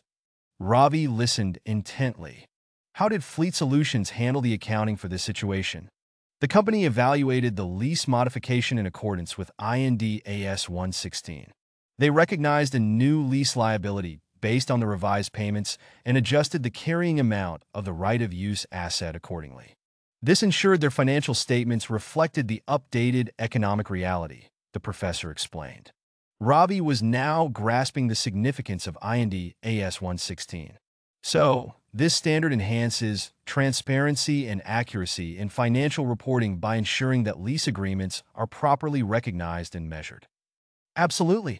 Another key aspect of IND AS 116 is that it requires lessees to provide additional disclosures in their financial statements, such as the nature of the leases, significant terms, and the amounts recognized in the financial statements, the professor added. The disclosures allow users of financial statements to understand the impact of leases on the financial position and performance of the entity, the professor clarified. For example, investors and stakeholders can better assess the financial commitments and cash flow implications of leased assets. As the class concluded, Ravi felt enlightened by the discussion on IND AS 116. He left the classroom with a clear understanding of how this standard transformed lease accounting, ensuring that companies like Logimove accurately reflected their leased assets and liabilities in their financial reports. Ravi was excited to apply this knowledge in his internship, ready to face real-world challenges in lease accounting and contribute positively to Logimove's financial integrity. Share, subscribe, like, comment. In a lively accounting classroom, Ravi was eagerly awaiting his next lesson from the esteemed chartered accountant known for his captivating storytelling. Today's topic was particularly intriguing, IND AS 119, which deals with service concession arrangements. As the students settled in, the professor began to weave a narrative that would bring this complex standard to life. Good morning, class. Today, we will explore IND AS 119, which governs how entities account for service concession arrangements. To illustrate this concept, let's follow our friend Ravi, who has taken on an internship with a company involved in public-private partnerships, specifically in infrastructure development. The professor began. Ravi leaned forward, intrigued. What kind of infrastructure project are we talking about, professor? Great question. Let's imagine Ravi's company, Infratech Solutions, has entered into a service concession arrangement with a government entity to build and operate a toll road. Under this arrangement, Infratech Solutions is responsible for constructing the road and maintaining it for a specified period, after which ownership will revert to the government, the professor explained. Ravi raised an eyebrow. So, how does IND AS 119 apply in this situation? The key aspect of IND AS 119 is that it requires Infratech Solutions to recognize both the construction services provided and the associated rights granted under the concession agreement. At the start of the arrangement, the company would account for the construction of the road as an asset, the professor clarified. Can you give us an example of what this looks like in practice? Ravi asked, eager to understand. Absolutely. Let's say the total cost to construct the toll road is 100 crore rupees. Under IND AS 119, Infratech Solutions would initially recognize this cost as a tangible asset. The company would also need to recognize the right to charge users of the toll road as an intangible asset, the professor explained. Interesting. So, how does Infratech Solutions account for the revenues from the tolls? Ravi inquired. As tolls are collected, Infratech Solutions will recognize revenue in accordance with IND AS 115, revenue from contracts with customers. The company will record the toll revenue as it is earned based on the usage of the road the professor stated. Ravi nodded, starting to connect the dots. What about the ongoing maintenance and operational costs? How does that fit into the picture? Excellent observation. Under IND AS 119, Infratech Solutions must account for maintenance and operational costs as incurred. These costs would not be capitalized but recognized as expenses in the income statement, the professor clarified. Additionally, the company will periodically assess the value of the right to charge tolls, ensuring that it reflects any changes in the estimated cash flows from the concession arrangement. To illustrate the importance of this standard, the professor shared a real-life case study. Consider the city of Mumbai, which entered into a service concession arrangement for the construction and operation of a new metro line. The private partner, Metrocorp, undertook the construction and was granted the right to operate the metro system for 30 years, collecting fares from passengers during this period. Ravi listened intently, captivated by the example. What accounting challenges did Metrocorp face under IND AS 119? The challenge arose when Metrocorp had to determine the fair value of the concession asset. They had to estimate future cash flows from fares, consider the expected maintenance costs, and assess the risks involved. As per IND AS 119, these estimates must be updated regularly to reflect any changes in economic conditions or operational assumptions, the professor explained. Wow, that sounds complicated, Ravi remarked, processing the information. Indeed, it is. This highlights the importance of accurate financial reporting and the need for robust internal controls to ensure compliance with IND AS 119. Furthermore, the standard requires transparent disclosures regarding the nature of the arrangements, significant terms, and any risks associated with the concession agreements, the professor added. As the lesson came to a close, Ravi felt enlightened about the intricacies of IND AS 119. He understood that service concession arrangements are not just about infrastructure, but also about the accounting implications that come with them. With practical examples and real-life cases, Ravi felt prepared to tackle his internship challenges head-on, ready to apply his knowledge to the world of public-private partnerships and their accounting intricacies. Share, subscribe, like, comment.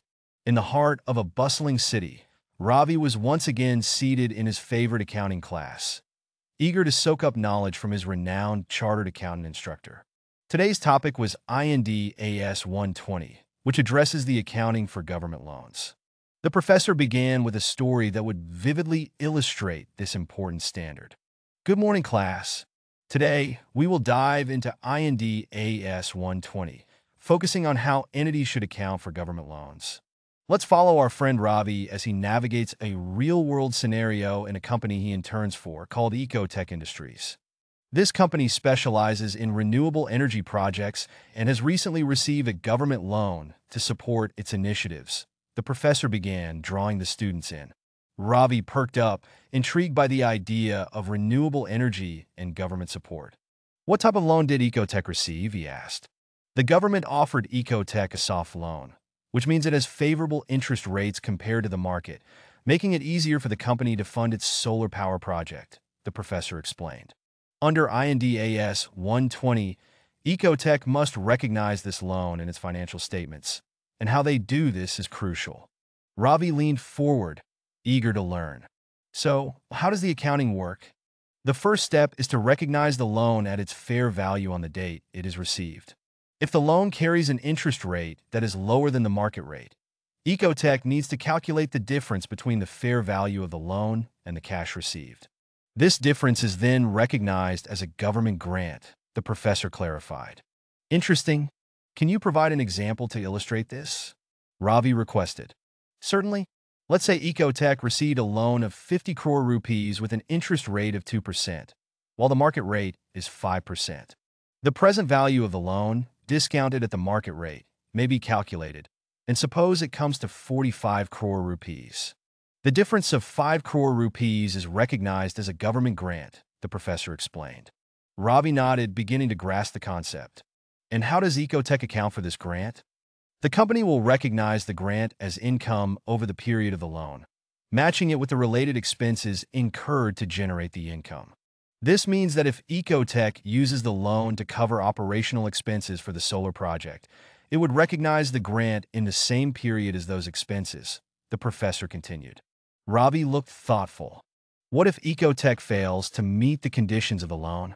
How would that be handled? That's a critical point. If Ecotech fails to comply with the terms of the loan agreement, such as not using the funds for the intended purpose, the government may demand repayment. In this case, Ecotech must recognize a liability for the amount to be repaid, which could lead to significant financial implications, the professor warned. To make the lesson more tangible, the professor shared a case study from the recent news. Consider the example of Greenwave Technologies, a startup that received a similar government loan for its wind energy project. Greenwave initially recorded the loan and recognized a grant as described. However, they faced challenges in meeting project milestones due to unexpected delays. Consequently, they were at risk of losing the grant. The company had to carefully monitor its compliance with the loan conditions to avoid repayment issues. Ravi listened intently, captivated by the real-life scenario. What lessons can be drawn from Greenwave's experience? he asked. First, it's crucial for companies like Ecotech to have robust project management and monitoring systems in place to ensure they meet the loan conditions. Second, Transparency in reporting the financial implications of such loans is vital for stakeholders, the professor replied. As the class wrapped up, Ravi felt a sense of clarity regarding INDAS 120. The combination of storytelling and practical examples had illuminated the complexities of accounting for government loans. Armed with this knowledge, Ravi felt prepared to tackle his internship challenges. Understanding the importance of accurate financial reporting and compliance in securing the support that drives innovation in the renewable energy sector.